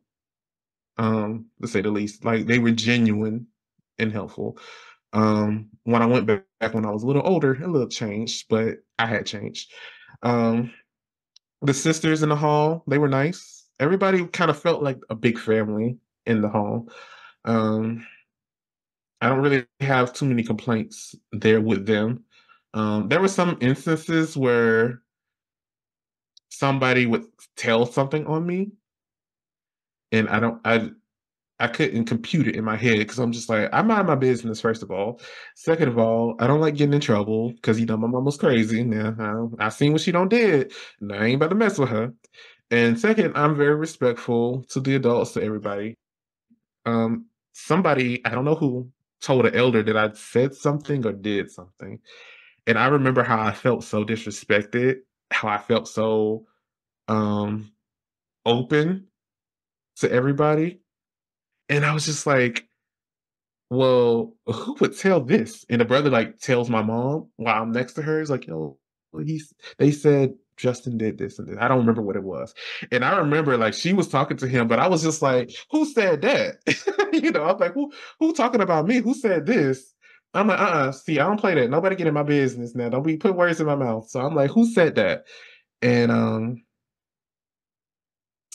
I don't remember. I, my mom asked me about it, I guess when we were in the car, and I was just like, I don't know who they I don't know what they talking about. I don't say I don't know what business they in. They need to stay out of my business. But that's the only issue I ever had with them. and I was just like, I started watching myself, you know, watching what I say. Because I like I said, I had worldly friends. Um, I'm pretty outspoken, if you can't tell. And the people there are very mousy, very, you know, they listen and do as they are told. And um, I may have a different opinion that they may not like. But guess what? It's my opinion. So we progress. Um, I had a sleepover. We had all the boys go to my friend's house and we had a camping sleepover and I played football. I don't know what the hell I do in football. I don't know nothing about football. And but I'm playing and uh, you know, I got broad shoulders. They're like, oh my God, Justin, you killing it. And I'm like, I don't know what I'm doing, but thank you. And um we were all there and it was a bunch of us. It was like eight or nine of us. And we're all in our tents and we're talking. And I'm just looking around. I'm like, oh, he's baptized. He's a year older than me Oh, they're, you know, they're um unbaptized publishers. They're a year younger than me, and I'm 12, 13 at the time. I think I was 13. So I, we had um spent the night there. We had the meeting the next day, Sunday meeting. So I went home to change. I was gonna go back over there later. And I told my mom, I was like, Mom, I want to become an unbaptized publisher. And she was like, really? She was like, you really do? I was like, yeah, I want to become an unbaptized publisher. So I'm like, all these other boys are, you know, baptized and unbaptized publishers. I'm like, I feel like I don't fit in with them. Like, I feel like this is where I should be. And credit to my mom, she never, she could be abrasive, but she never pushed me to get become an unbaptized publisher or become baptized. It was she kind of left it up to me to decide. But she also like didn't help in some ways, I guess I can say. So she was like, All right, well, when we get to the meeting today, I'll go to the elders and tell you you want to become an unbaptized publisher. So I went to the meeting, told the elders, I want to become an unbaptized publisher. And they're like, Oh, really? You know, that's good. Blah, blah, blah. I forgot the steps. It's been so long. I forgot the steps you have to do to become an unbaptized publisher. I don't. Do you have to answer questions or anything? You have to meet with the elders. I mean, obviously, it's been a long time for me too. Um, yeah. I just remember you had to meet with the elders. They basically just make sure that uh, you have some general knowledge, uh, okay. and that you're like not a not involved in something that you shouldn't be involved in. I think, and that's yeah. about it. I mean, it was a very. Okay, I think thing. they may have. Yeah, I think they may have done it that same day too. They may have just pulled me in the back room and you know. Yeah, it was like questions. a one and done little meeting, and yeah, you walk out and unbaptized. Yeah, so I had correctly. Yeah, so I had went back to um my friend's house. We had went to the meeting. They all went together. For some reason, I went with my mom. I don't know why. Um, so I felt left out on that. I was like, well, they get to go, and then they get to go together, and they're sitting together. I'm sitting with my. So I went back to their house, and I was like, yo, I'm gonna become an baptized publisher. And they're just like, oh, really? Oh, okay, cool, yeah. And I'm just like, yeah, this is like these are supposed to be my people. This is where I'm supposed to fit in at. Um, and I, that was like 13, um, and it just went downhill from there. so I became an unbaptized publisher, and that became that came with a lot of responsibilities that I did not know and did not um, think about. So that's when they first put me on the theocratic ministry school. Mm-hmm. Was a nightmare every time. I'm I'm the nervous kid that threw up every time before going on stage, and I kind of felt like it was a little bit of torture to make me do that because my mom knew how nervous I was. She can get on stage and do her little, you know, talk with the other sister, but I got to sit there and get on the podium in my ugly ass suit and talk in front of everybody. I got to talk in front of everybody, and I have the worst stage fright. So beforehand, I'm like sitting in my chair, I'm shaking, I'm tipping my toes. She knows what's going on. She's calm down. I'm just like, don't talk to me, don't say anything to me. Um, and then I just get up before I know it's time for me to go, like right before, and I just I gotta go throw up. I just gotta go throw up. I just can't do it. And I come back and I'm shaking, I'm all flustered, and then I get on stage and I read, and they're like, "Oh, you did so good. You pronounced those words so good." And I'm just like, "I don't care." I was like, "I don't want to do this." And so we meet with the elders, of course, afterwards, and they go over pointers. I don't even think I paid attention. I was just like, "You gonna sign this book or what?" Like, I don't like doing this. And I told my mom, "I don't like doing it." And you, well, you have to do this, and this is this. And then field service um, started for me. Um, like I said, I like field service, so it didn't bother me. I felt like it was more of a social event for me than anything. Um, especially when I would go out with my friend and like me and him Well, would be it like, was, wasn't it? How often did we really talk to anybody at the doors of any, you know, of any real substance? For mostly, we were just talking with each other. Exactly. And um I liked it when I when me and him would go because we, you know, we're the same age. So we would just be talking about school. He'd be talking about girls at school. I'd be pretending like I'm interested to hear about him talk about girls in school. and we're talking about teachers and we're just, you know, having a good time. So I would have my little, you know, presentation prepared. His was a lot more elaborate. Mine was just kind of like, oh, I'm here, and here's the brochure, whatever. Thank you. Um, if you have any questions, you know, just let us know.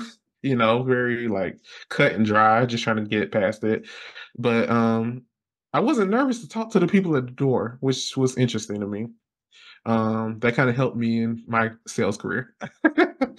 um, but um, yeah, I mean, I would schedule myself to go out in service. I would make arrangements to go out in service because my mom worked on the weekends, so she couldn't go all the time.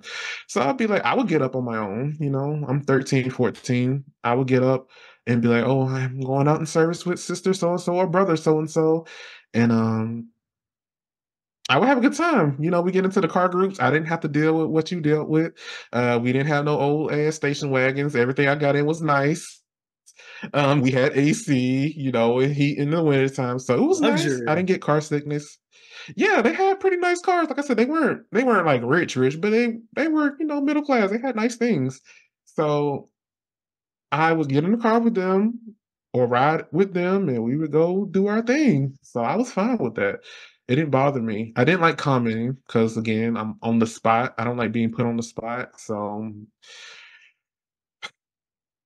that wasn't fun. Um, but at that time, um, my brother, I think he moved out. I think he had went to college and he, but he always came back. He always came back like a boomerang. And um, I started noticing a lot of things in myself that terrified me. Like that I would be at school and I'll be walking, you know, walking in the hallways or in the courtyard and I see a, a boy and I'd be like, oh, he's hot. And I'd be like, oh, wait, hold on, wait a minute. I'd be like, intrusive thoughts, what's going on here? Wait a minute. And then I would be like, no, I can't do that. So I end up getting a girlfriend um when I was in like the seventh, eighth grade. And I felt like I just needed something, basically like a beard to hide. I was like, oh, oh no, I'm not gay. I got a girlfriend. She's over here somewhere. I don't know what she's doing. She's somewhere, but I got a girlfriend, okay?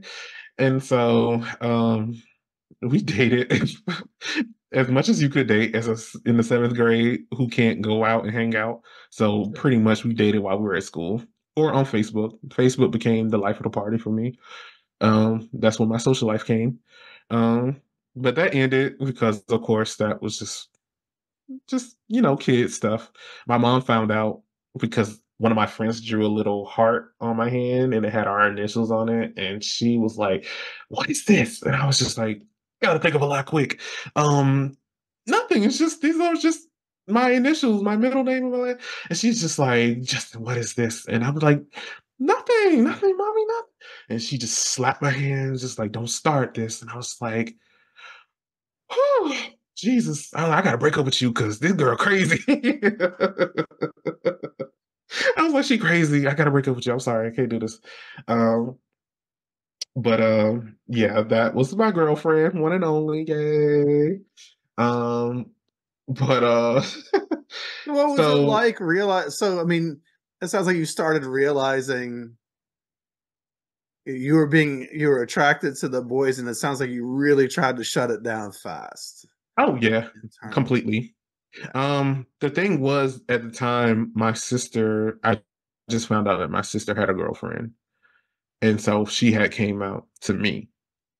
Um, and I was very heavy in um, no, you're not. Like this can't be, you're not, because if you are, mama will never love you and she will hate you always. and I for some reason I wanted my mom and sister to get along. They just never meshed well. And I'm just I couldn't understand it because I'm like, this is your daughter.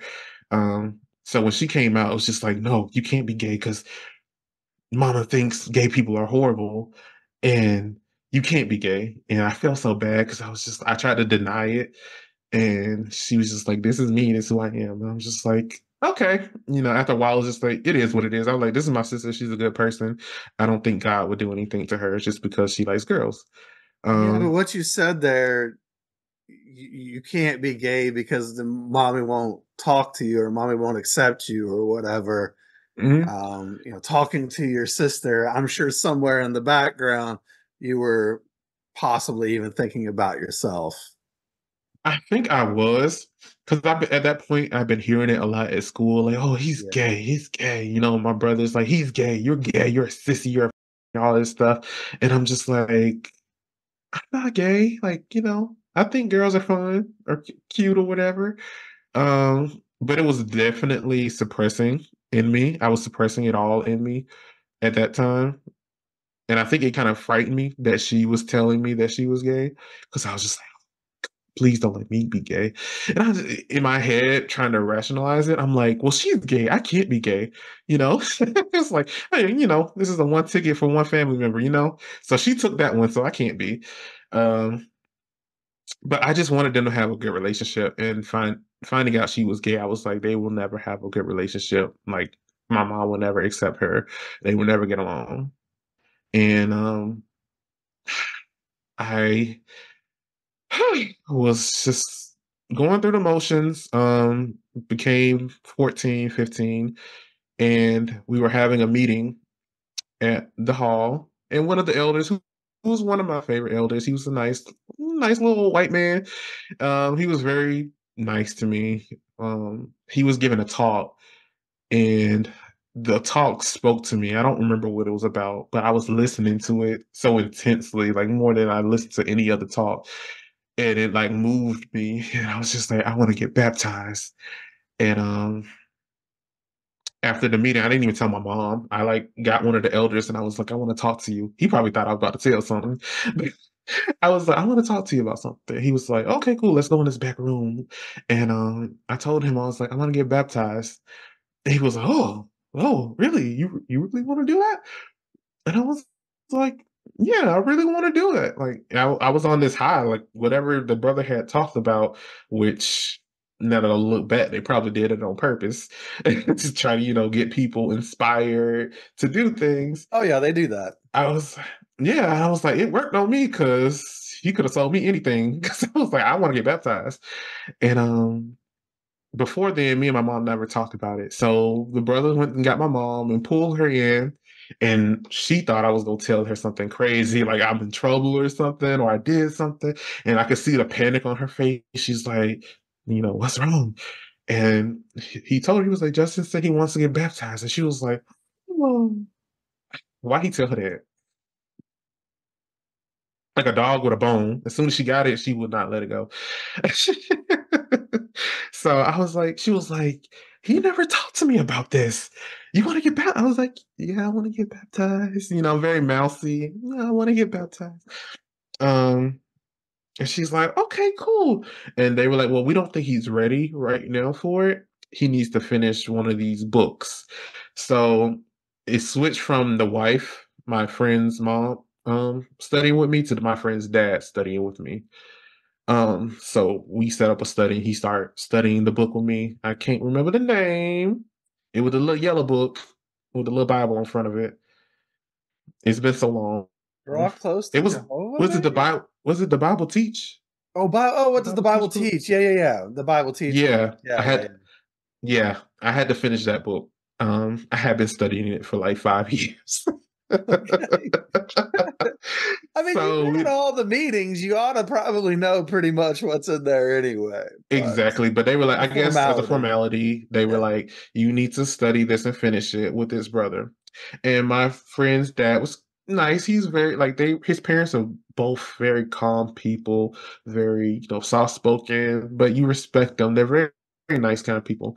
So I was like, all right, cool. I'll study with his dad. So I studied with him.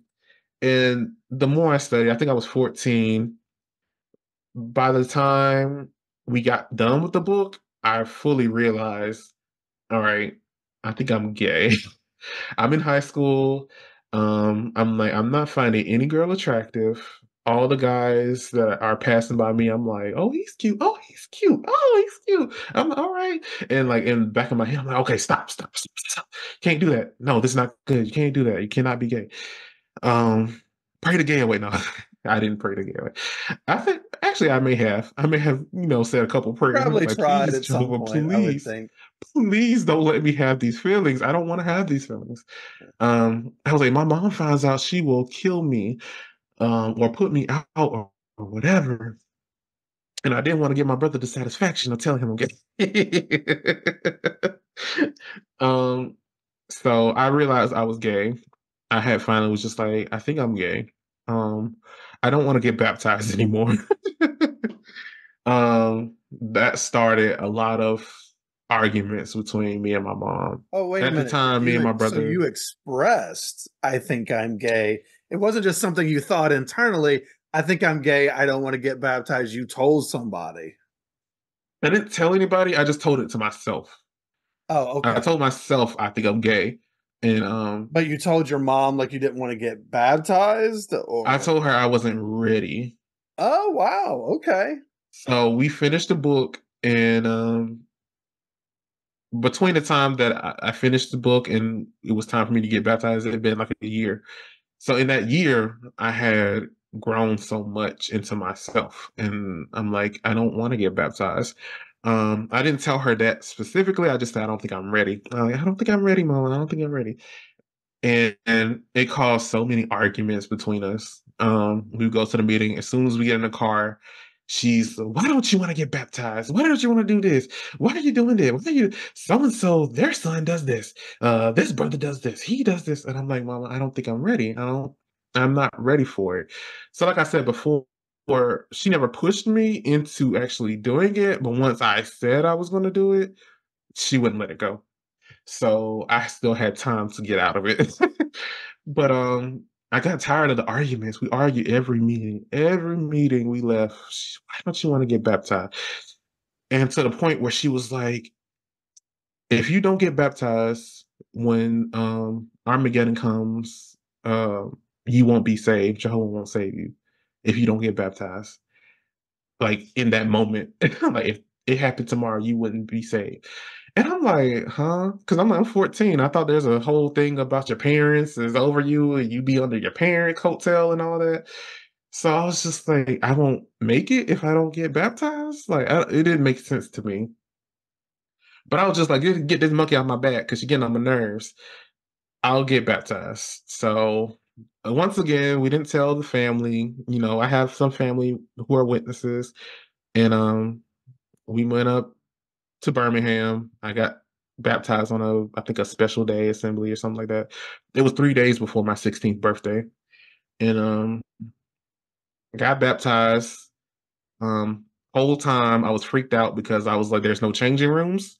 Like, what the hell is this? I'm like, I'm not about to get undressed in front of all these men. I don't know these men. And um, I found a stall. So I was the only they had one stall. I found a stall. Man, Thank God I was the Those in changing rooms. Uh, Yeah, nobody told me that. Mm-mm. in an organization with as much abuse as they have that goes on inside it, man, those changing rooms and everything, they don't tell you what you're going into. It's it's it's not it's weird. Yeah, they didn't tell me that. No, I was very uncomfortable, and I'm like, I'm gay, but I ain't that gay. I'm like, I, I don't want to see none of y'all. Y'all, y'all ain't about to see none of me. So I changed very quickly and walked out. I think everybody else had already changed because I was like, I don't want to be around anybody like I don't want to be around nobody like that. Um, so um, got baptized, got in the pool. They dunked me under. I was like, oh, the water's warm. I thought it was gonna be cold for some reason. No, uh, whatever. Um, I just remember the sisters and elders telling me, "Oh, once you get baptized, you'll be dipped down. You'll have a clean white slate, and you know the angels will sing, and you will make them rejoice in heaven." And I'm like, "Okay, cool, uh, but they can see everything I do." Um, okay, so that kind of made me uncomfortable. and then um, I just remember I got baptized, and I got, I was just like. I feel the same. like I feel like I'm still gay. but I was just like, oh, I have a clean slate now. Um, but I wasn't like worried about progress in what I was going to do in the Kingdom Hall. I was worried about I forgot to bring lotion and it's winter time or fall time. It's cold.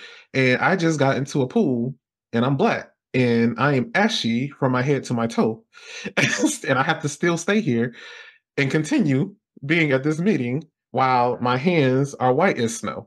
So that was the biggest thing in my head. Like everybody's like, "Oh, congratulations! You get you get back in your suit, my little rinky dink suit, and then, "Oh, congratulations, brother, your brother, brother." And I'm just like, "Stop shaking my hand! You're making it worse." Um, I'm like asking sisters, "Oh, sister, do you have some hand lotion or anything?" And they're like, "Oh no, I don't have any." I was like, "What the hell?" So I went the rest of the meeting dry as a bone and ashy and upset. And I was like, what the hell did I just do? I just got baptized. And in my head, I knew about disfellowshipping, I knew about all of this. It didn't compute to me that now I can be disfellowship. Now I can be kicked out. I guess because, like I said before, my mom was my authority. I didn't look to anybody else's authority. So whatever she said went. So I didn't I didn't think of, oh, if I do something now, they can kick me out and then I can, won't be able to talk to her. I didn't think about that before. Um, I felt like they got me, like they got me in the cage and closed the door and threw away the key, and I was like, God damn it, man. And then I was like, I'm I'm gay. Like I I like boy, I I find men attractive. What am I gonna do? So I started thinking, I'm like, I'm gonna get disfellowship at some point. Um, beforehand, I knew if I ever got baptized, I would get disfellowship because they were like, "You got to marry a sister," and I was like, "These sisters look miserable, and I do not like them. I do not want to marry a sister. I would be so upset if I had to marry a sister." And she was like, "We have to do family study tonight." Oh God, do I have to? Like, I already got to deal with my mom. She's my mom. She's telling me to do. I have a wife, and she's like, "We have to. You have to be the spiritual head." I don't want to be nothing. So I was like, "I'm not marrying no Jehovah Witness woman." And that was when I was young. So I was like, "I'm gonna get disfellowship probably for that." um, Did you? Can I ask? Did, So- on any level, did you? Just because you said something earlier, and I know I've heard this from others.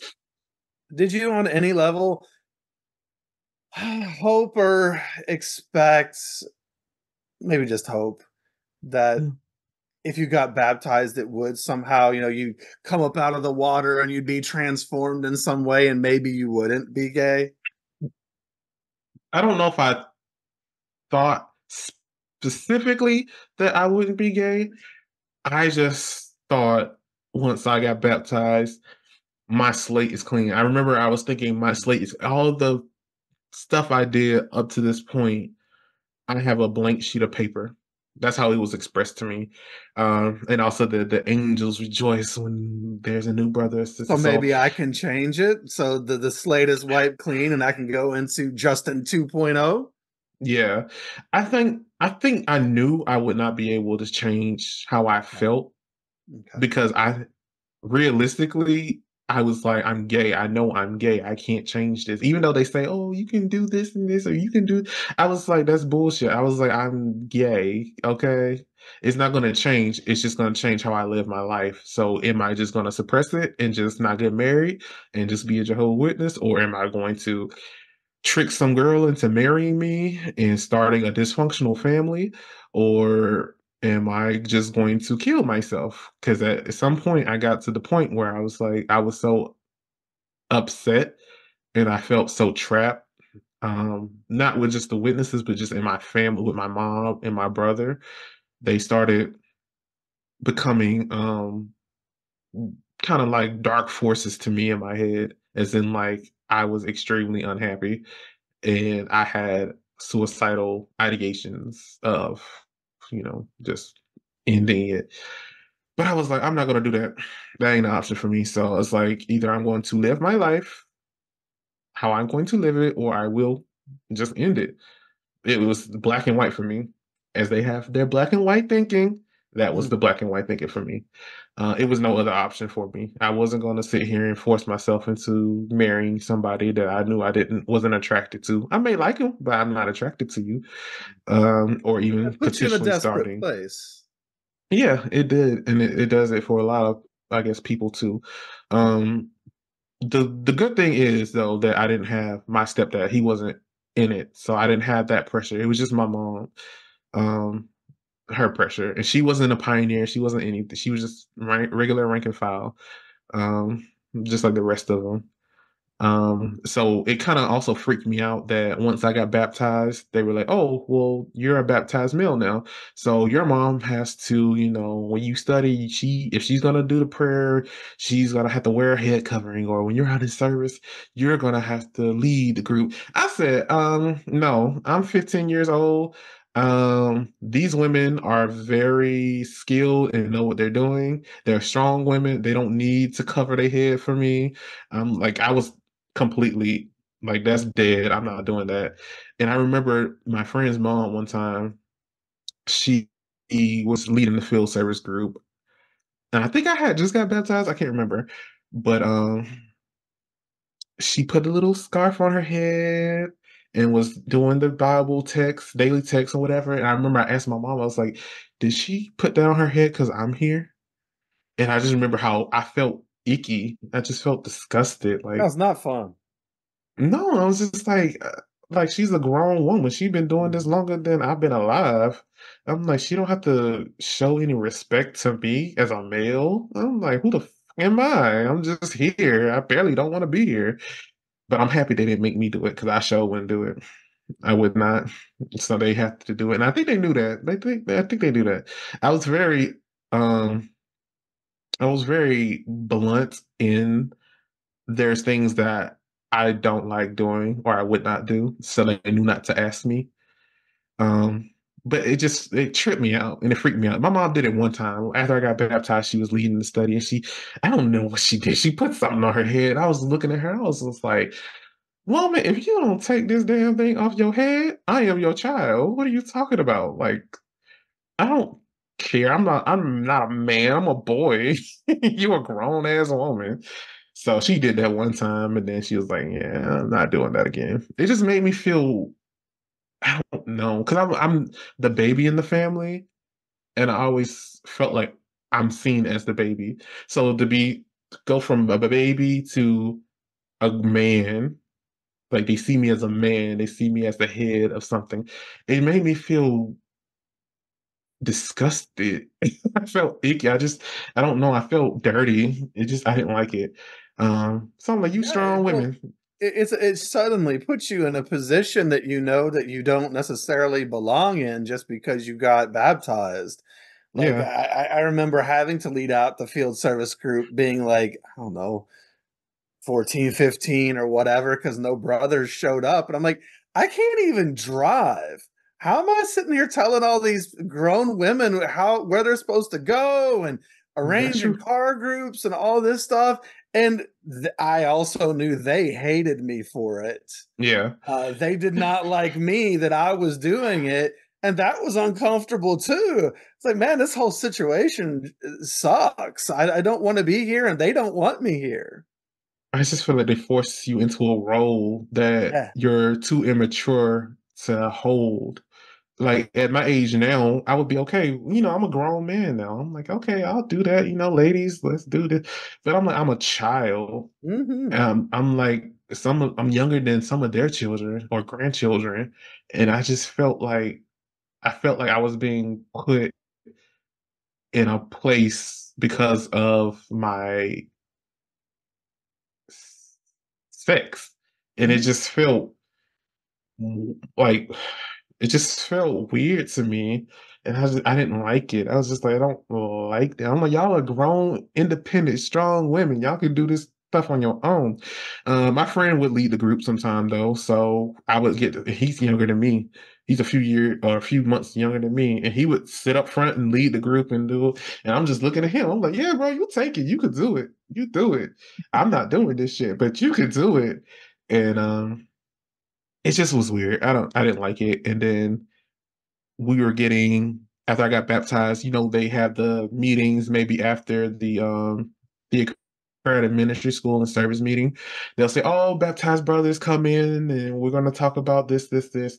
And it's weird because my mom and my dad are with me and they can't come in. They have to go. My dad and my mom. They like, oh, we'll see you in the car. And I'm like, Huh? I'm like, I'm I'm, fif- I'm uh, 16 at time. I'm like 16. What are you talking about? I'm like, how do I have more position or more um I guess access to hear things than my both my parents do? And I'm like, my mom really believes it. I'm like, I believe it, but to a point. I'm gonna figure it out, but I can't put my finger on it. But I was just like, something ain't right here. Um, but I just remember I'd be like, all right, I'll see y'all in the car. Their teenage son just going in with all these grown men and other teenagers who've been baptized. And I get to be privy to something that they who actually believe it or are the head as a man can't even listen to. And I'm like, this Mhm. I was like, this shit is weird. Oh, I don't like this. Um, but it was kind of interesting because I was like, oh, you know, I kind of get to listen to see what's going on. You know, what's T, boo? What's T? What's happening? So I'm like listening and I'm like, okay, this shit is still boring. And I was like, they're not telling us nothing interesting. I like, we're having a gathering here and this and there, and this sister's gonna bring this, and we're gonna do this, or the circuit overseer is coming, and we need to do this. I'm like, uh, okay, this is the same stuff. What is new?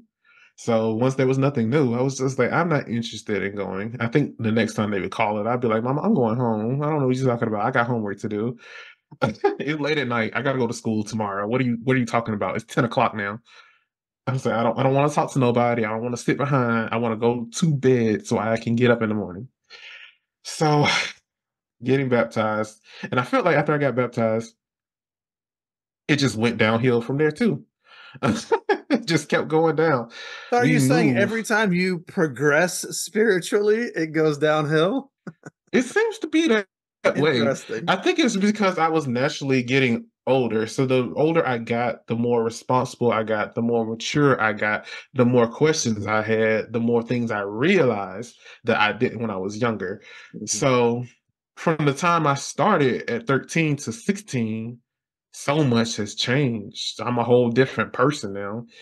And um I just we moved to a house um basically in the town that our Kingdom Hall was in, so I didn't have to change Kingdom Halls. And I stayed in my school because my parents just let me go. I wasn't supposed to, but I was like, I'm not leaving here because like these are my friends. I cannot lose anybody else because I, I had friends in the neighborhood I would play with, but I can't play with them anymore because I don't live there.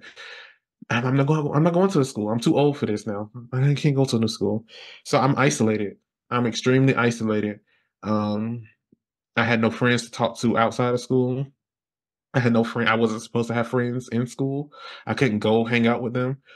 I would basically come home and stay in bed, close my door, and stay in my room for hours and hours and hours and hours and hours. Um, I got I think I slipped into a depression. Not think I know I slipped into a depression. I was so unhappy. Um, I was miserable because I was such a social person before, and I'm just like, I feel like they forced me to become an introvert when I was born an extrovert. And I was shy, but I can still talk to people. You know, I can, you know, you know, I can mess around with people and make them laugh or do whatever. But it kind of like shut me up and just I felt like I was in a jail cell. Um, I only saw my mom, my dad, and whenever my brother came, which I prayed every day he would not. and she would always go get him on the weekends. I'm like, why can't you leave his ass at school? Like, let him stay there. Why he keep bringing him here? And we would fight. He would cuss me out. He would call me out all types of names. It got to the point where him and my mom would get into it. He would cuss her out, call her all types of names. And I'm just like, I don't like this atmosphere. My peace is gone. My peace is disrupted. Um, they're fighting all day, night, it's my mom, my brother, my brother, my dad, my dad, my mom. My, everybody's fighting each other, and I'm just in my room in a little cocoon listening to music. I fell heavily into music around that time, so I was listening to everything. And my mom always be like, "Make sure you, you know, you pay attention to what you're listening to." You, I'm like, "Uh huh, okay, mommy." And I turn on my Eminem because I'm like, I like it. I'll turn yeah. on my Nicki, uh, my Nicki Minaj, my Beyonce. I love Beyonce. I fell in love with Beyonce around that time and um music became healing to me to listen to because I felt like things I couldn't say or express I could get out through listening through the music just in my head. So that kind of helped me cope with it. Um but it was just anger. Every time anger, um, cussing, yelling, uh, I'm getting cussed out for something. My dad's getting cussed out for something. My brother's cussing my dad out for something. My dad is upset and crying, and my mom's upset. It's just, it was just hell. Like the whole time we lived there, and I was just like, this is what hell feels like. Then I guess. and I'm just like, I'm not happy. I am baptized. I don't feel any different. I'm scared. I'm terrified out of my mind because I'm gay and I know I'm gay and what will this mean? Will my mom accept me? I know she won't accept me. Mommy, she only likes she only believes in Jehovah's Witnesses, so whatever they say goes. Um around that time, my mom had a back surgery. And this is when things kind of got really bad uh financially for us and just mentally for all of us. Um they found a spot on her lung and they wanted to do a biopsy. So instead of getting a second opinion, she just went to the doctor and they performed this huge surgery on her. They cut her from like her shoulder all the way down her back, and she had a huge gash in her where they put the scope in and they took a biopsy. So they basically cut her halfway open and then just like glued her back together. And um she was in so much pain. She already had fibromyalgia and she was in so much pain. And my sister, who was in school for physical therapy, she came down to help her. Um, so I had my sister there, but my mom was out of work for like a month, I think. And um, the brother and sister, who were my friend's parents, they were privy to everything. They went to the hospital to visit her and talk to her. And uh, my mom told me that she was upset and she was crying and she was wondering why the elders weren't there. And she was telling her, why are the elders here? Shouldn't the elders be here for me? Why are they here? They just abandoned me and da da da. And she just went off. And um, my mom a private person. Person, she's very private. So I was kind of in my head thinking, I'm like, Mom, um, you didn't tell them that you were having surgery. It kind of came out of the blue too.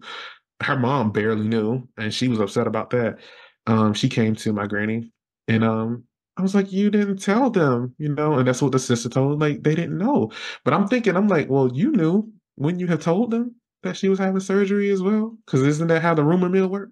Because I'm like, when y'all have some hot gossip about me, you definitely want to spread it around, but when it's something you know important, they didn't say anything. And like I said, that family particularly, they were they weren't, you know, well off or anything. They were like normal. They, you know, they did what they did to survive, which is fine. But we had some elders in there had some, you know, they was they was paid. They had some money now. And um she was just upset about that. I, I was just at the time I was just like, "Well, mama, you didn't tell them, so you know you can't be mad at them for not knowing. They they love us and all this and that. They be there for us." And so she's out of work for a month. She's not working. My dad, like I said, he worked minimum wage. It was she was supposed to recover for like three months. I think she went back after the first month. So she'd been cut open, had a huge gash in her, and had to go back to work in less than a month, I believe, because bills. Um, and it was the dead of winter. It was December, November, December, and it was extremely cold that winter. And um, our gas went out because they couldn't afford a gas bill. So we didn't have heat. Uh, we couldn't cook. We couldn't take showers. We couldn't do anything. And um, I remember the family, my friend's family, his dad brought over space heaters for us. So he brought over like two space heaters for our rooms. And I was like, that's nice. Now I think back, I'm like, damn, you couldn't have just paid the bill. you couldn't have just helped pay the bill or get the money up for somebody. You know, not necessarily them, but like, you know, get the money up. Cause I mean the bill was probably like a hundred dollars. I was like, y'all could have scraped up a hundred dollars, you know. Cause I'm like, we still can't eat. we can't cook food. Or take a shower. Um, yeah, or take a shower. Oh my god, it was the worst. I had to. We had to go get um a coffee pot, fill it up with water, put it on a coffee pot, go to the sink and bathe in the sink, like take a bath in the sink, and it was the most uncomfortable thing. And um, food we just ate out. I guess I don't even remember. Uh, I do remember one day my parents at work, and the sister came by, my friend's mom, and she just came out out of the blue, didn't say anything. She knocked on the door, I opened it. I'm like, hey, sister. She walks in, she had all this food. She has all these crock pots and stuff. And I'm like, what is this? I'm like, did you call my mom and tell her? She's like, no, I didn't call her. She was like, here's some food for y'all. And, da, da, da. and I was like, that's so sweet. So, like, in the darkness, there's always some light. And for some reason, they were always the light that came out. I don't know why nobody else was there, but they were always there. Probably because they were just so close to us. And um, I mean, she brought crock pots and pots of food, lots of food. And I was just like, oh, this is really nice. And I know my mom, they appreciated it because they were working hard trying to get everything corrected. And um, shortly after that, we got a call that my cousin, um, who lived in Montgomery at the time, had been shot and killed by by some person and uh, my mom was really close to him because my mom had my sister and his mom, my uncle's wife, had him like a month apart, so they're really close. She raised, she you know they would come spend the summers with us. He was only 24 at the time. He had a son, and she flipped out. I've never seen her act in such a way because I my uncle calling. Uh, he was like, "Hey, uncle," and he was like, "Hey, your mom there?" Yeah. He's like, "Can I talk to her?" Sure. He didn't tell me. And she gets the phone. I give her the phone. A few minutes later, she's screaming, and I'm thinking she's in pain because of her surgery. She just had the surgery, and she would have really bad back spasms to where she couldn't move, and she would be in so much pain. She would scream. She was all on the floor screaming, and I'm like, "What is wrong with you? Like, what is wrong?" Like, me and my dad run into the room, like, "What's wrong? What's wrong? What's wrong?" And she's just like, you can't even hear what she's saying. She's just like so slurred and crying and screaming. And I was like, I've never seen her like that ever because she's a very put together person. She's strong. So I've never seen her like that. So I'm like, is she hurt? Like, did something pop? like, what the hell is happening? And, and she muttered it that, you know, my cousin had been killed a few hours ago. And I was just like, what? Like, you know, what? So I never experienced somebody being killed or murdered in our family. So I was like, you know, what like what does this mean? Like what is what what happened, you know? And she's just hysterical, can't get anything. My dad calls the brother and sister, my friend's parents, and my his dad just left from having study with them. He went back home and he called and was like, "Can y'all please come and help her? Because we, we can't do anything. We don't know what's you know how to help her." And they both came over um, a few minutes later, and they talked to her, like, with both of them in the dining room, and she's just, like, you know, just hysterical the whole time, and I was just like, you know, in the darkest times, they always showed up. So all the times that I could think of, um, where we were going through things, Well, they they were were the always there. were around, right? Like you said. Yeah, they were the people that was always there to help or, like, to make it better or, you know, try to make it better or at least just being there. Mhm. So, that's why I think I still have a lot of respect for them. Like I said, they're just good people. They're Yeah. just good people in a shitty situation, but they're good people. Um, so that was kind of tough to go through. I mean, we were already going through what we were going through. We didn't have heat. We didn't have we had to take showers or whatever in the sink. It was and then he died unexpectedly, and everybody's distraught. She's distraught. She's in pain. She's she's, like, having these flare-ups, back spasms. She's just I was just like, "This is too much. This is too much for me to handle." Um, so we end up getting out of that place and going back to an apartment that we lived in before we moved there. Um, so things kinda started getting a little bit better. I was in the neighborhood again with my friends that I had grew up with, but I have been isolated for so long, and it become expected of me to only just be in my room that I could I still couldn't go outside. Even though I had used to go outside and play with them before or do whatever, I just stayed in my room again, and, um it got a little bit better, but not that much better. Still mentally, I was just drained, and I was just like, "How can I get how can I get out of this?" Um, without losing my family? Because at that point, I was just like, "Alright, I'm going to be disfellowship at some point, and if I get disfellowship, my mom will not speak to me." And I'm like, "How can my mom not speak to me?" It just wouldn't compute to me, and I'm just I'm her baby, you know, I'm her son, I'm her child. How could she not speak to me? And I'm just, like, freaking out because I'm like, "She's my mom." Like, she's like, if anything happens, she's my world. Like, I couldn't do you know, and we weren't even getting along at the time. We were definitely not getting along. I would come home and had a good day at school. You know, she usually would be at work, so I wouldn't have to talk to anybody. I'd come home, go to my room, do homework. She's at home. She has an attitude. "You don't know how to speak to anybody?" I'm like, "Oh, I'm sorry, mom, you know, I'm not used to you being here, you know. I had a good day though, you know." And it's just like, she'd be like, "I'll knock your head through that TV." And I'm just like, "Alright, um, that sounds very violent. I'm gonna go to my room now."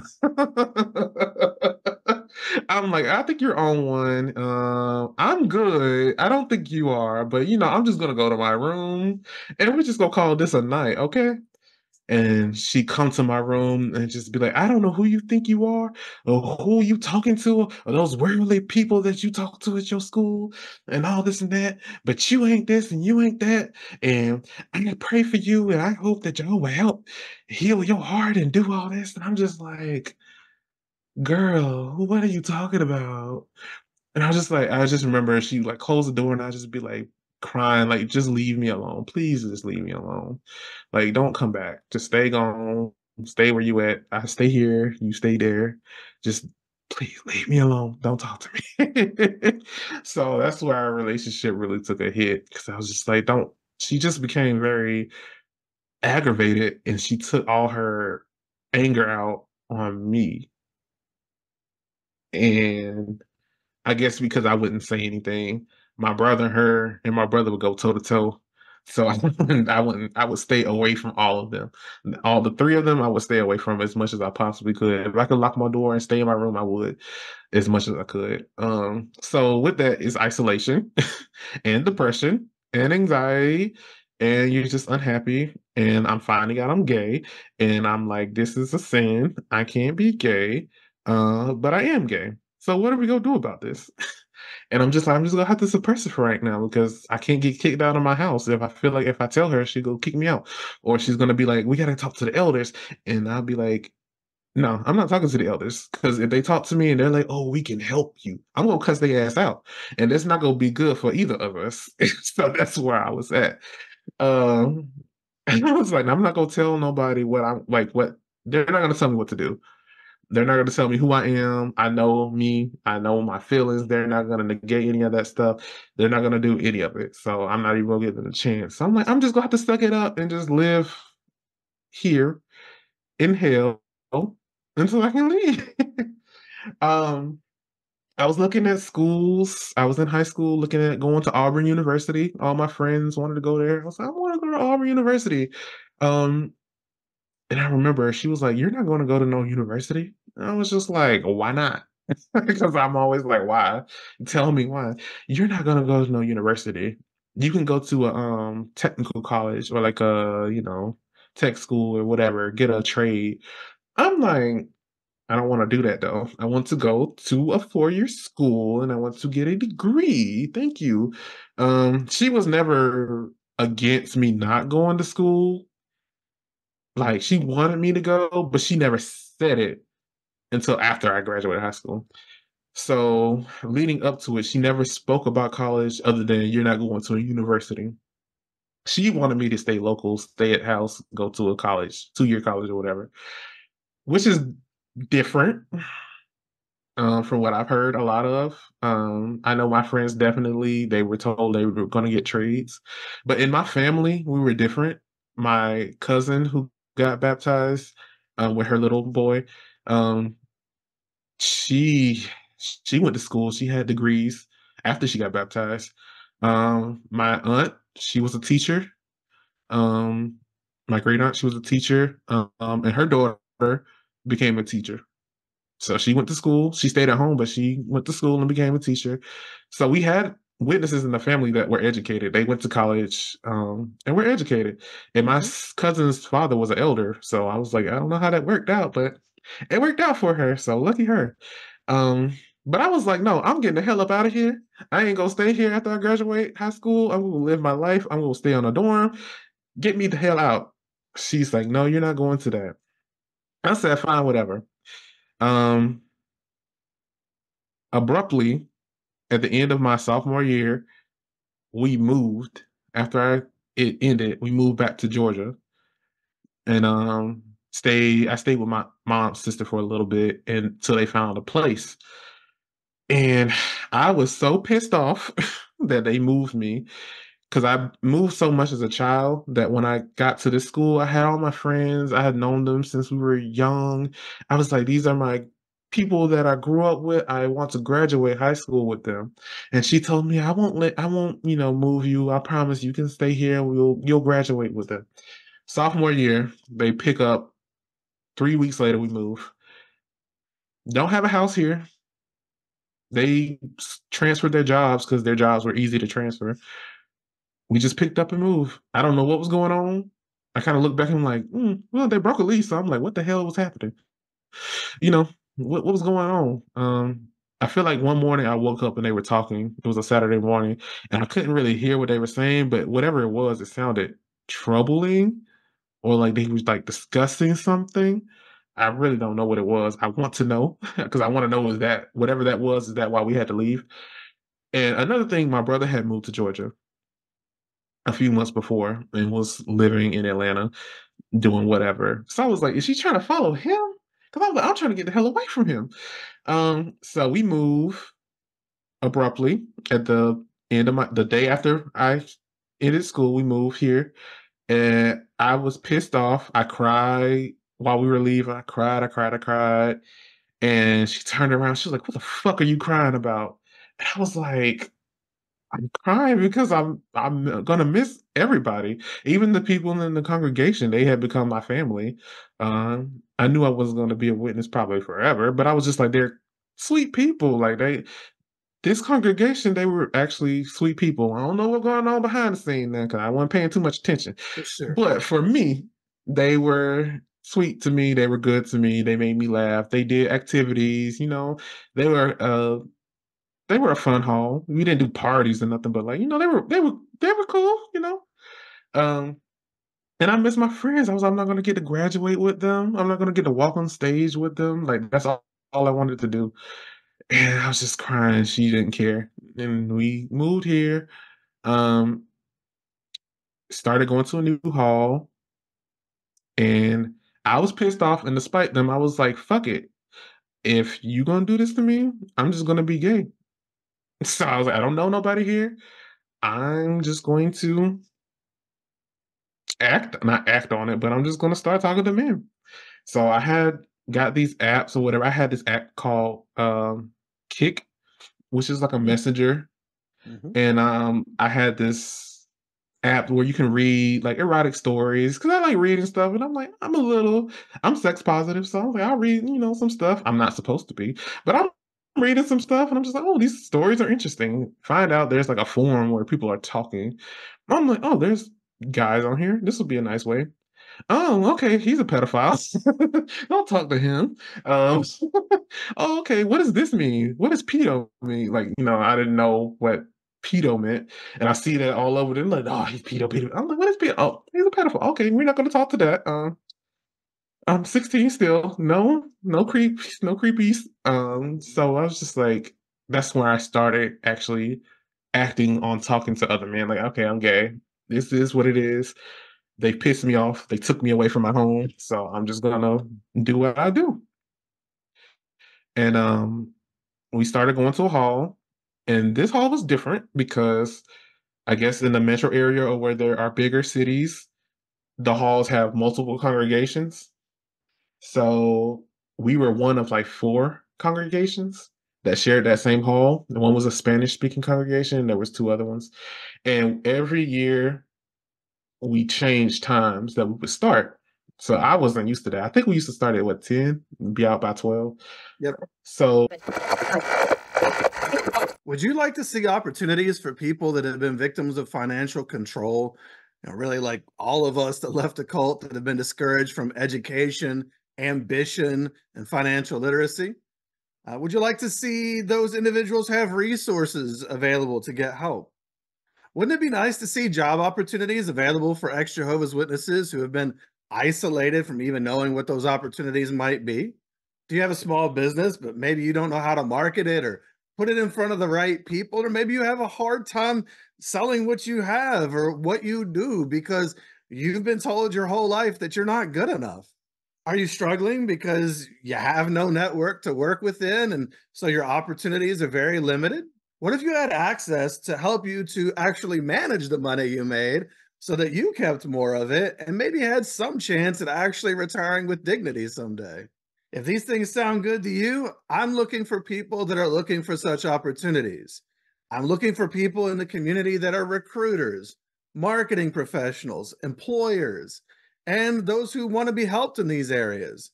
And if you're not in the community and you listen to this and you're like, "Hey, I have a business and and I think I could help in some way," you know, feel free to reach out. Please go to exjwhelp.com again, exjwhelp.com or uh, I'm calling this the Uprising Project. So you can also go to theuprisingproject.com for more information and to apply to be included in some exciting new opportunities that I'm working very hard to bring into the community. Together, we can all rise up. They would have two meetings in a day, two or three meetings in a day, and one would be on Saturday, actually. So one congregation would meet on Saturday, and then the others would meet on Sunday, and we would change times. I used to pray that we had the first because if we had the first, we could oversleep and miss the meeting. and we had our meeting. I think the latest started at like four o'clock. I was pissed that entire year because that meant we had so much time to make it to our meeting. and that meant we had to go but if we had the 10 o'clock meeting, oh, she overslept. She'd be like, we overslept. She she may be like, we'll go to the two o'clock meeting. And we ain't gonna go. We're not gonna go to no two o'clock meeting. But if we had that four o'clock meeting, God damn, man. I was like, God, I'm gonna have to get up and go. Um the hall was different there too. It had windows, but it was dark. I don't know how that worked. Um, the people there weren't as friendly or welcoming. Um, the elders and the elders' wives were definitely on some other stuff, for lack of a better word.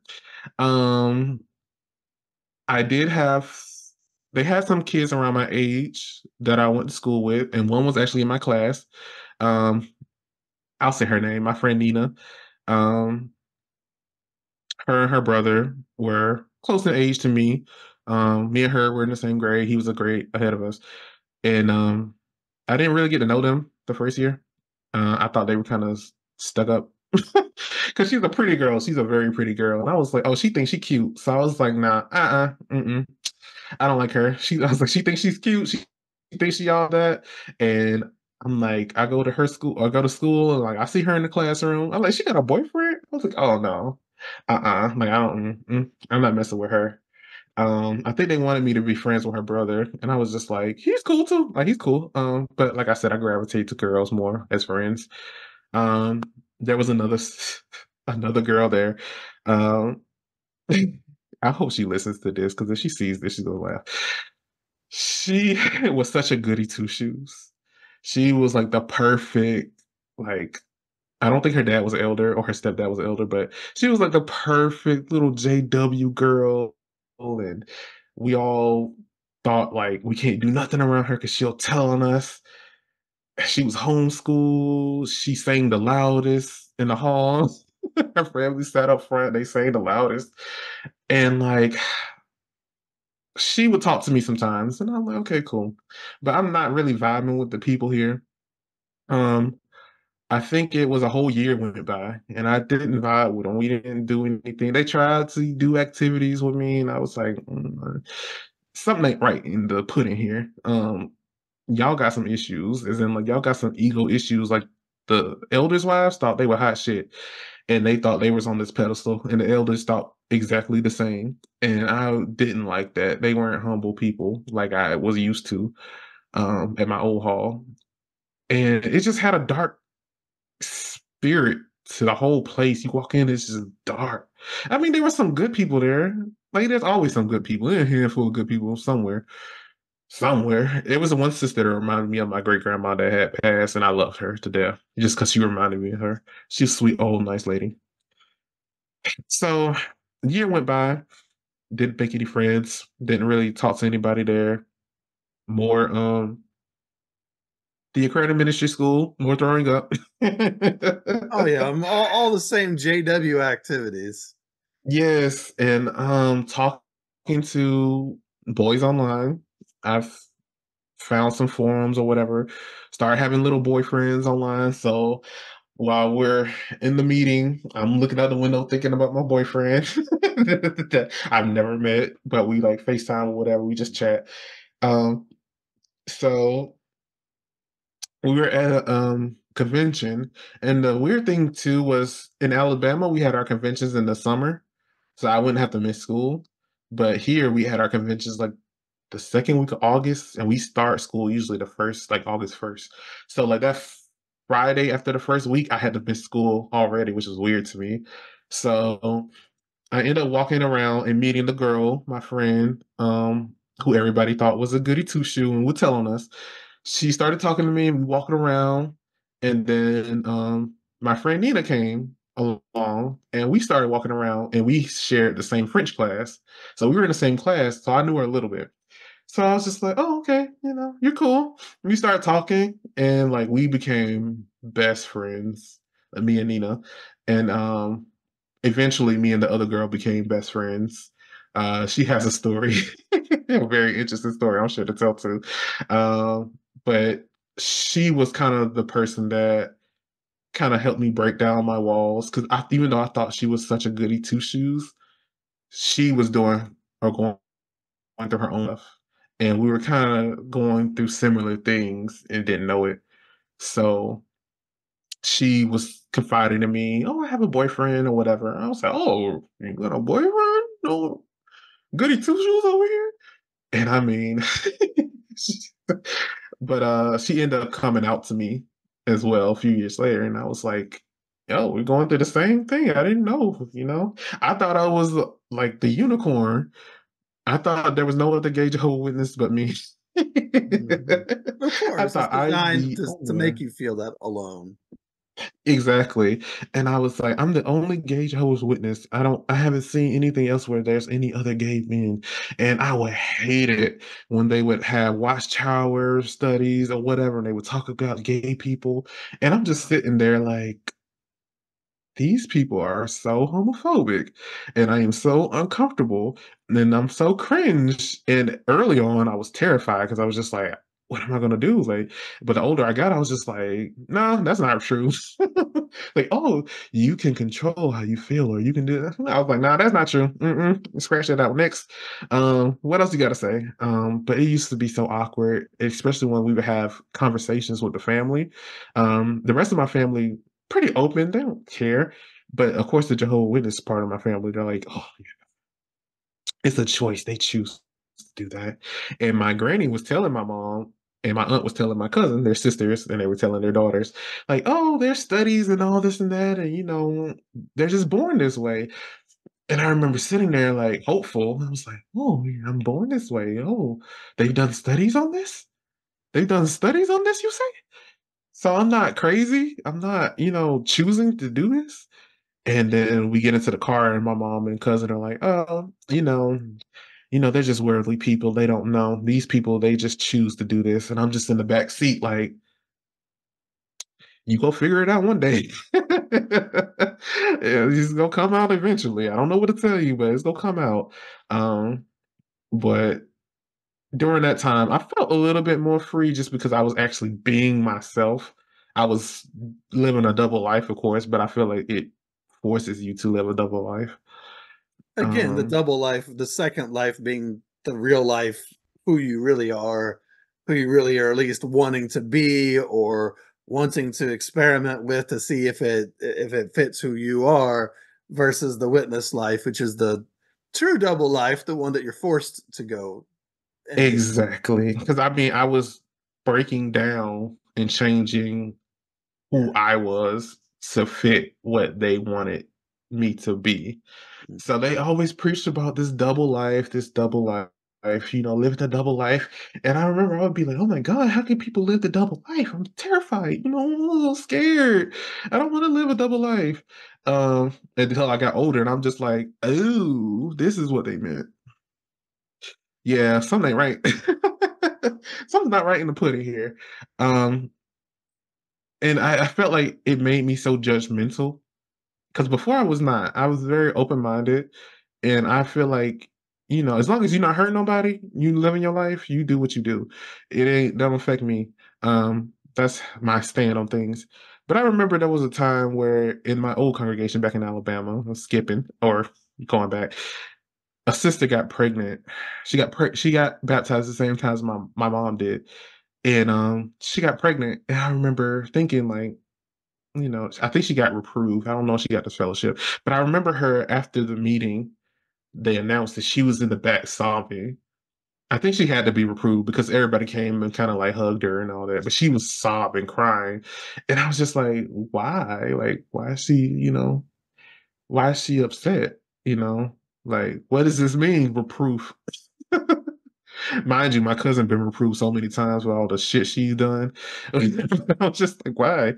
Um, and I felt so judgmental, like, like looking at her. I'm like, oh, she's pregnant. She got pregnant by a worldly person. Like, what the hell? Why did she do that? incredibly judgmental, yes. I know, and I was just like, why would she do that? Like, didn't she know better? A child telling a grown woman this, Mhm. and so she had the baby, and I remember it was new. We had a new baby in the Kingdom Hall, and I was, oh my god, a baby! I love babies. And I remember me and my friend had walked over, and I was probably just a child. This be stupid. And I just remember I was so awkward. I didn't know how to be like, oh, your baby's so cute. I was just like, I pointed to it. And I was like, did it hurt when you had her? and she was just like, yeah. I was just, I look back at it now. I'm like, oh my God. I wish I could have been like, oh my God, girl, your baby's so cute. Like, oh yeah, you know, and there was a lot of double life going on. Now that I look back at it, all of them were living double lives. Yeah. All of them, especially the kids. forced into a mold that is not very human. Exactly. And so their humanity is going to come out in some ways, and then they're going to get shut down. Exactly. And um, I also forgot to touch on this. Um, the person that you had on the podcast before, he touched on it a little bit. I think they were family members of his, but there was a boy, his granddad was an elder, I think, in the home. He played football at our school. I actually had him in some of my classes. He was a little bit older than me. He played football and he went on to college to play football um, at Georgia Tech. And I remember thinking, I was like, how come he can do this? I asked my mom, like, because I used to want to play baseball. I used to want to play soccer. I used to want to have after school activities. Uh, she let me join the French club, but I couldn't do anything afterwards. Um, and I was just remember, I was like, how come he can? His dad, his granddad's an elder. I don't think his dad, his dad's passed now. But I was like, I don't think his dad's elder, but he's probably just there. But that's probably why he's not an elder. But I was, his granddad's an elder, and they come into the hall. I'm like, how can he can play football? I can't do anything. And I don't know. I just felt like it was a double standard there. But uh, their family was cool too. But it just felt like a double standard. But um, back to Georgia. Um, I have a friend now, my friend Nina. Me and her like thick as thieves. I had another friend named Mia. She was a year younger than me. She actually lived in the apartments that we lived in, so I would hang out with her sometimes too. But like me and um, Nina were like thick as thieves. We call each other twins. We look nothing like each other, but we just call each other twins because we're so close. And it kind of seemed like a light at the end of the tunnel because I'm like, I got friends. I trust her like we're both she was never baptized or anything. I think her brother may have been a unbaptized publisher or something like that and he had been taken out or whatever for whatever reason. Um but i felt like i found my friends like my true friends um and they happened to be witnesses this time which was interesting but they weren't in it like the other ones were. Um we all had things that were going on that our parents didn't know about at the time that we would all share with each other. And I'm just like, my mom would be like, those worldly people, those worldly people. I remember I told one of my friends that one time at school, and she was like, she was so offended. She was like, What do you mean worldly people? And I was just like nonchalant. I was just like, you know, this is what they say, worldly people. I'm like, what? You're worldly. You're not a Jehovah's Witness. And she was just like, I take deep offense to that. Like, I'm not a worldly person. I go to church and da da da. And I'm just like, I thought about it. I was like, yeah. I'm like, so why would we call them worldly? I was like, these people are more wholesome than the Jehovah Witnesses kids that I go to school with, or who I hang out with. I was like, I, the first time I was introduced to any drugs was from a Jehovah's Witness kid. Mm-hmm. Who I know, which I never did it because I was just I didn't I wasn't into that type thing. But they were the ones who introduced it to me. They went to the Kingdom Hall. Of course, I would never tell them that, but that's who brought that to me. And I was just like, no, thank you. I'm good. Just because I can make the decisions for myself. I don't have to have somebody else tell me what to do. So, so starting you. to see now that Jehovah's Witnesses aren't all that they're cracked up to be. And you have oh, somebody yeah. else that you want to be. Exactly. And I just I knew once I was after I got baptized, I I knew something wasn't right. Like something just didn't feel right to me because I'm just like, if these people are living their life, paying their taxes, doing whatever they do to mind their own business, why am I sitting here telling them that they're gonna be destroyed? Mm-hmm. Because I know what y'all doing. I know what you doing. I and I know what they doing. And for me, if I was God, I would look and be like, okay, these people are okay. Y'all, y'all doing some shady, shady business over here. Mm-hmm. Um, I know of a story of. Mm-hmm. I, I know of a story of an elder putting a hit out on somebody to have them killed. So when I found that out, I was just like, yeah, something right here. I was like, he had he put a hit out to have somebody killed. I've heard I had those stories infidelity, lots of infidelity. Um, personally, I hadn't heard anything of child abuse, as in sexual child abuse, uh, but it doesn't shock me. Well, again, that's usually handled behind it. the scenes, so we don't hear about it, right? Exactly, but I don't know anybody personally who yeah. went through that. Um, with anybody that I know of, and I'm sure it has happened, but I haven't had it happen to me or anybody that I knew. At least they haven't told me. But um, yeah, I have friends now, and they were witnesses, so that was kind of a good thing. I guess the bad thing was they were girls, and so you know they were not supposed to be friends with girls like that. You, know, you could be friends with them, but you know, if you're hanging around each other too much, oh, you know, what are y'all doing? You know, Mhm. and I'm like, we ain't doing nothing but talking shit. we talking shit about all y'all. We while we while we're at the assemblies and at the hall, we ain't doing nothing but talk. I'm looking for her, she looking for me. We about to go, we about to hang out, talk to her brother, you know. We just having a good time. So that was inter- interesting to me, as well as still noticing the congregation around me. Um, that congregation is where I I notice infidelity. I notice possible abuse. I notice premarital sex that they were having. I noticed a whole lot of stuff. Mhm. Um, And what were you? Mostly where- because I- where, were you going during all of this? So, like, you're you're noticing the congregation isn't what you thought it was, and you know that Yeah. you're not who everybody thinks you are to an extent. Mhm. So, how were you handling that in, internally? I didn't give it no expectations. After I left Alabama and moved to Georgia, I didn't give a rat's ass what I did. Um, I still had to do the um, what is it? I had to do the theocratic ministry school, so I had to still give them give them stupid talks. Um, I didn't comment. I stopped commenting. I basically just like retracted. So after I got baptized, I just went down here. I retracted because I was like, I don't like this. So they didn't have any expectations of me anyway, even though they were trying to get to know me. They started me to study with this brother. I guess he was young at the time. I don't know. He had a family. He was okay. But um I remember I felt my inner self trying to come out and scream out to me so loud that I felt like it was me being unhumble and that it was me being um what is it boisterous or it's You some word like they used to say haughty and proud yes haughty yes because how dare you have a self? Exactly. And I I felt my inner self telling me this is bullshit. Get out of here, go. And I was I I felt like you said haughty, like they used to say haughty, boisterous, and all that Mhm. good JW talk that I've forgotten now. And I would tell my the person that I was studying with, I was like, you know, I feel like I'm so out of touch. And I keep praying to to God that I humble, that I pray for humility to humble myself. Like I Mhm. feel like I need to be humbled. But basically that's me saying I need to shut up and get in line. and need it was squash my myself. Yeah, I need to squash myself. I need to make myself this small. And I look back at that now and I'm like, damn it, why didn't you just stop going or whatever. I don't know. But I felt that I think that was like a last ditch effort. And I was telling him that, and he seemed like he didn't really care. He was just like, oh, okay, yeah, oh, well, this verse. And I'm just like, bro, I'm trying to tell you, like, I feel like, I feel like I'm better than this situation.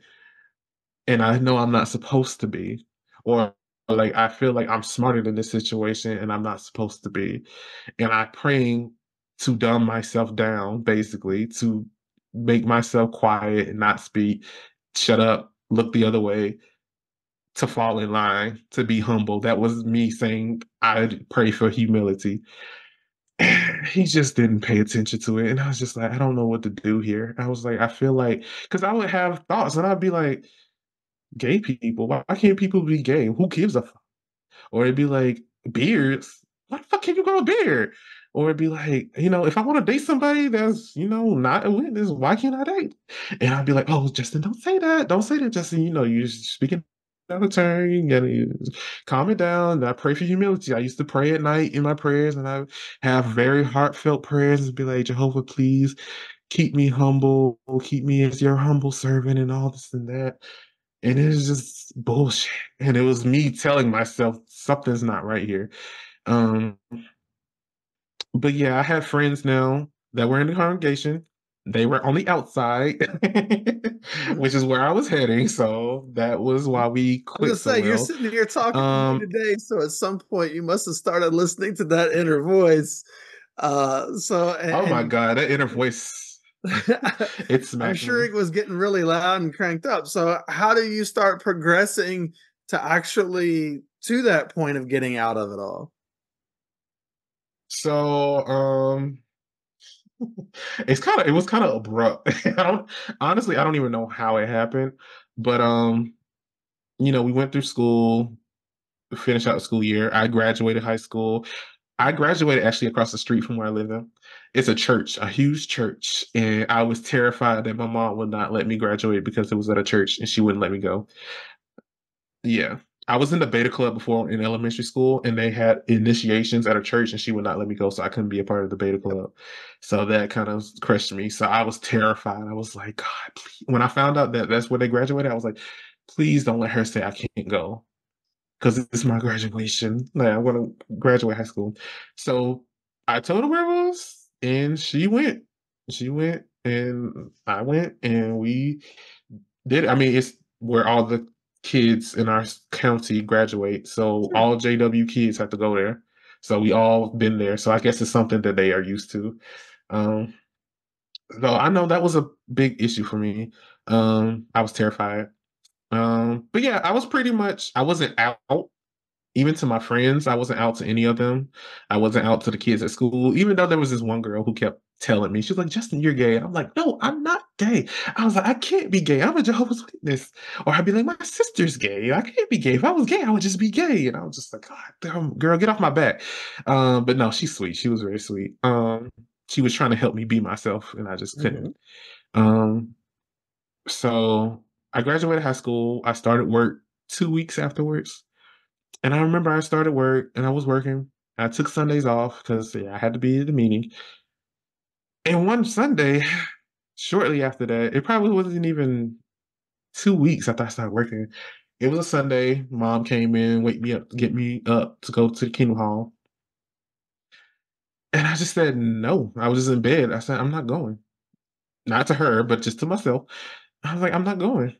And I just stayed in bed. She came back. Justin, you need to get up. We need to go be, we're gonna be late for the meeting. And I just stayed in bed. And she screamed and she yelled. And she's like, You gonna make me late for this? And. And I was just like, I'm not moving.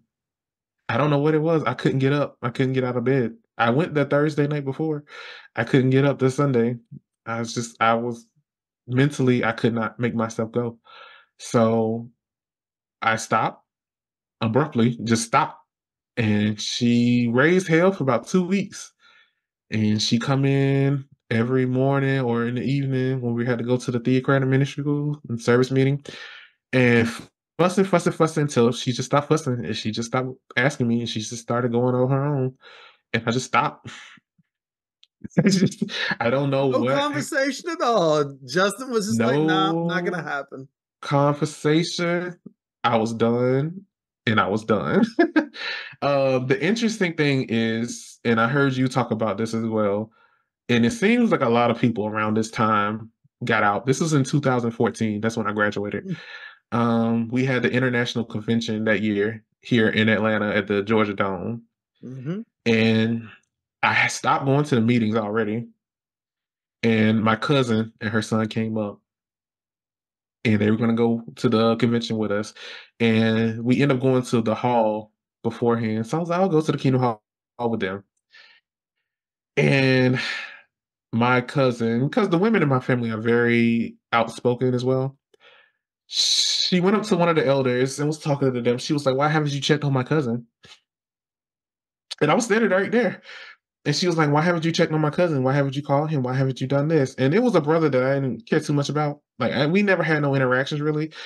And he was just like, Oh, uh, yeah, I tried to text him and call him. He didn't respond. And I said, No, you didn't text me. You didn't call me. Um, and then he told my mom, I think at a different time when I wasn't there, that he came by the house and knocked on the door and I ignored it. And I told her, I was like, Mama, I was like, even though I don't go, I respect these people. So if they came to the door and knocked, I would come to the door and answer it. Um, could it have possibly been nobody was at home? so I'm like, nah, you. By. Or I think it was that he never came back because he also never called me. I showed her my sure phone records. I was like, Mama, I was like, Mama, I don't, I don't go no more. But if they called me, I would talk to them. Why? I don't know why, because I showed them when, but I was like, I would talk to him. So I showed her my phone records. I was like, he's lying. And so I was like, this man is lying on me. That's the one thing I do not like. Do not lie on me. So that happened. And then we went to the convention. And we went to this convention. We had um it was people from Africa, people from Japan, mm-hmm. a lot of different nationalities. Um and my old congregation was actually from Alabama. They came in, they were chosen to come in. So I got to see some of them. We actually, the first day we saw three sisters that were actually sisters on a train that we were riding in. And I was so happy to see them because I love them so much. I love the whole congregation so much. And I stopped going and I think I started growing my beard out. Now, the whole beard thing was a whole different thing. I didn't think too much on it. So it didn't really faze me. So I just naturally grew it and it was just like, whatever. I like it. Um, but I was so happy to see them. I was like, oh my God, I haven't seen y'all in years um, how are you doing? How's this person? Oh, this person, he's at Bethel now. I'm like, oh yeah, figures. Um, I think he's gay too, but whatever. he's having a great time up there. If they would have told me that there was nothing but brothers up there, I would have been on the first side to go to Bethel. That would have been the best thing in the world to me. I would have been in all the meetings afterwards. But um I was like, okay, cool. Um, we went to the convention three days or whatever. Um, it was different to me because it was more televised, I guess you could say. There was a lot more videos happening and the governing body started coming out more. And I was just like, because I had no idea who they were. I didn't know how many they were. I didn't know what they looked like. I didn't know their names all throughout my time growing up. And I just didn't like it. It's just something that was just different about it. I was just like, this don't feel right. And I remember this like it was yesterday. My cousin, um, whose mom passed away, that was my aunt she um, was talking about the new system. Of course, they showed this video where you know your dead ones come back to life, and she's all emotional, you know, because she misses her mom. Which we are like, you know, we totally get that. And she was talking to me, and she was saying, you know, um, I can't wait to the new system because I'll get to see my unborn child. She had a miscarriage. Nobody knew about it. She didn't tell us about that. I was like, oh, okay. All right. Miscarried baby's coming back. I didn't know that. And then she said, um, I also can't wait to see a dinosaur, see what the dinosaurs look like. I said, hold on now, wait a minute. dinosaurs? I said, wait, you want you want to let me get this right. So you said you want to see a dinosaur. Yeah, we don't know what can happen, but yeah, we'll probably see dinosaurs. And then in my head, it's churning. It's churning. I'm like, dinosaurs lived a couple million years ago. Don't Jehovah's Witnesses believe the Earth is only like what six, seven thousand years old? How are we computing this? Because this don't work for me. This ain't. It's not matching up for me. This logic ain't working. So I was like, huh? What? So that stuck out to me like a sore like it was it was crazy. And I I found my cousin and her husband, because he's an elder too, I found them to be the most spiritual people. I think mostly because of my aunt, just because I held her in such high regard. And I held her daughter in that regard because I'm like, oh, this is her daughter. You know, she did it the right way. She was raised as the witness. She couldn't have smurfs and all this and that. It's crazy. Um, side story my granny actually got her a smurf when she was young this was like in the 80s my aunt threw it away she got pissed off i just wanted to throw that out You're there supposed to have smurfs demons that's my smurf that's my smurf story um, so, but um i just so, held, so now yeah. you're starting to see that the doctrine doesn't add up either well, no, because I was just like, is that what we believe in? Because I didn't believe in it. And I'm like, if we believe in this, then shit is off. Because what? And I mean, I already stopped going. I already had my questions. I'm already, you know, I'm gay. I'm talking to guys. And I'm just like, I'm thinking I'm just going to hell, or, you know, I'm not going to hell, but I'm just not going to make it. And I just was okay with that. I was just like, I'm just not going to make it. I won't see everybody again. So it won't matter. I mean, I'm going to live my life, but I just won't make it and so I kind of was in the beginning stages of um accepting that. I still, you know, had my feelings on things. Um, the mind control was still there. But that's it just stuck out to me. I was like, girl, you think that dinosaur is gonna come back to the new system? And she believed this. And I'm like, I think of her as such a high ranking Jehovah's Witness. She's lived this life her entire life. Her mom was spiritual. Her dad was spiritual. She's married to an elder. He's so spiritual. They raised their children so spiritually. But she think that's dinosaur. I said, something ain't right in the pudding. It ain't right. Um, I'm a, I'm gonna need to. Yeah, I think I'm doing the right thing here. Um, so after that, I stopped going. Um, except for Memorial, I would go to Memorial because it's a dramatic night. You know, the moon is out, it's all nice and colorful and big. And you know me, I like the dramatics. I like the little destructive books.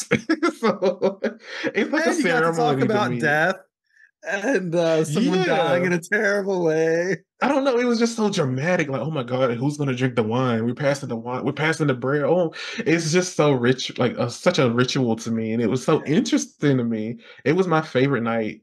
So, like after I stopped going, I continued to go, and my granny would come with me with my mom, and so me and my granny would cut up the whole time because my granny doesn't believe in the shit at all. She told my mom, "You're in a cult," and she's like, "Mom, I'm not in a cult." And I was just like, "Oh my god, granny was right." but she goes because she's she makes her daughter happy. She goes to this because it makes her daughter happy and she doesn't have to believe in it anyway. And we would go and we would sit, we would crack jokes while we're singing, while we're passing the wine. She get the wine and be like, uh, uh, like like she's about to drink it, and I'm like, oh my god. So we would have a good time. Um, what really changed for me is, um, well, I'll go back a little bit more. Um, once I got, once I was like, I'm not going back. Like something's not right here I'm not right and something's not right with this organization. I started dating guys or whatever secretly. I still lived at home. And I just remember feeling so guilty. Like, I was like, something's to happen to me. Like, mm-hmm. God's going to punish me. I'm going to get AIDS or something to die because I'm doing this. And I would cry. I would weep in my car, like driving around if I, if that thought came into my head because I was just like, I'm deserve I deserve punishment. Like I'm just gonna be punished for whatever I do. And it just it just messed with me so much. Um but uh that happened. And I, I had dated uh, you know, a few guys or whatever, but it wasn't too much. I wasn't doing nothing crazy. Cause I still ha- I had that mentality of I'm dating to find somebody to marry. Of course, yeah which is crazy to me. That witness mentality, right? It's crazy to me that I was I, at that point. I was years out still from like going, but I was thinking, I'm going to find somebody to marry. I'm dating to find somebody to marry. Even though it's a man, I'm dating to find somebody to marry. I'm still living at home. Um, I'm trying to get out. I can't find enough money to get out um, to have my own place. So I'm still having to deal with them. Um, nothing interesting really happened around that time. Just the same old fighting, arguing uh, with the family. Um, so what really but, changed? Uh, I, what what what what made anything change? What really changed was me. I was more out. I was more. I spoke up more for myself, as in like I didn't let them just tell me anything or do anything. You know, I was like I'm 21 at the time. I'm going to do whatever, not do whatever I want, but like, you know, I'm going to do normal things that normal adults do. It's not crazy. I was at a friend's house. My mom called me. It was like, I want you to be home by nine o'clock. I'm like, I'm up the street. What are you talking about? I was like, I get off of work at 11. I was like, what are you talking? And she was like, I want you. I was like, what? I'm grown. You know? I understand if it was like 12, 1 o'clock. I'm like, I want you at home at 9 o'clock. I was like, girl, what are you talking about? No, I ain't doing that. Um, so I end up getting out my own. I end up getting in a relationship with somebody um who I'm still in a relationship with now.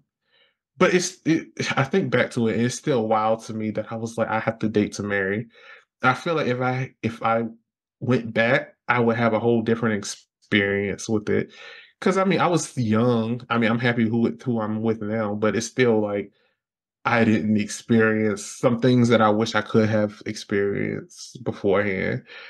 But um yeah, we were dating. I had got a house with roomies, and he had got an apartment with his roommate. And so I was out of the house. I didn't care if she found out I was gay or not. She had been asking me before. Um, first time she asked me if I was gay, I was eight years old. I didn't even know what I knew what gay was, but I, I, I had no feelings. I was like, I don't know shit. She was like, "Do you like boys?" I was like, "No, I like them as friends." Because it's true. Hmm. I like girls as friends. shit. So she asked me again. I was like 21. She tried to like corner me in my room. and I was just, I just closed the door and she was just talking. She was like, Do you like girls? Or do you like boys? You want to be with boys? And, you know, we could go to the elders and we could talk to them about this. And I just remember I was just like, Please go away. Please go away. I don't want to talk about it. Because if I talk to them, it's not going to be pretty. What I will say, and you will be embarrassed. So, none of anybody's business, best. and uh, it's not their business. Really. And I don't know them. I only went to that congregation like two years before I graduated. Because once I graduated, I stopped. I just cut them off. If you went there your whole life, it's nobody else's business. It's, it's exactly. just bad boundaries. And then like cornering somebody in their room that's so like aggressive and not creating any kind of safety for a real conversation to happen. That's, exactly. Yeah, that's not how you do it. Exactly. And I mean, at this point, she knew that my sister was gay. Um, my sister came out due to my brother. Um, he was having an argument with my mom and cussing her out. And I guess he decided to throw us in it. So he was, he told her that my sister was gay and she had a girlfriend and that I may be gay how I don't know. He I never said nothing at that point, but I'm just like, how I get in it. But so she found out that my sister was gay, and so when I had my graduation, my sister came down and her girlfriend came down, and then we thought she couldn't stay with us at first, like they couldn't stay with us, but she ended up letting them stay, and so I was like, maybe Mama, you know, she may not be all the way, you know, drinking the Kool Aid. She may not all the way be there, but she definitely, I think, honestly, to God, because my mom was raised around. She, my granny had a gay best friend, so my mom was raised around him. I don't think my mom cares. I think it's because she's a Jehovah's Witness that she cares. Um, because some of the things that she does, I'm like, she don't care. Like she, if she wasn't a witness, she wouldn't give a damn. But I would hear her and my brother speak about my sister and her now wife, and they would be so homophobic. They would say some of the worst things. And my brother would play both sides of the fence. He would go to my sister and get some stuff, and then he'd go to my mom and be like, Yeah, I just can't support that. And mind you, none of them are witnesses. My brother and sister are not witnesses. They weren't raised in it. They, by the time my mom got serious, I was the only child left in the house. Lucky me. Um, so, so how'd your mom find out that you are actually gay? That was an interesting story. I'm happy you asked that. Um, I actually was I went to North South Carolina to visit my cousin and his wife, and I took my then boyfriend with me. Um, they had just met him at my sister's engagement party that my aunt threw for them, which of course my mom was not in attendance. So I was like, she's not going to be here, so you can come with me tonight. So my family just met him. I didn't come out. I was just like, oh, I have somebody coming. They're like, he has somebody coming. Like, you know, they're like sneaking around and talking to each other, like, yeah. And they're asking me, like, coming. You know, my granny, she's like, Justin got somebody coming. And they all knew, but I had never said anything. And so he just popped up. And I was just like, oh, he's here. And they're like, oh, oh my God. And then I like brought him in. They're like, oh my God, hello. They were so welcoming. and um, that was interesting, but nobody told her from that because nobody there was a witness. Thank mm-hmm. God. Um, so on our way back to Atlanta from South Carolina, we went to Charleston. Uh, I stopped in the town um, where my aunt lived and my other cousin, who's a witness, lived.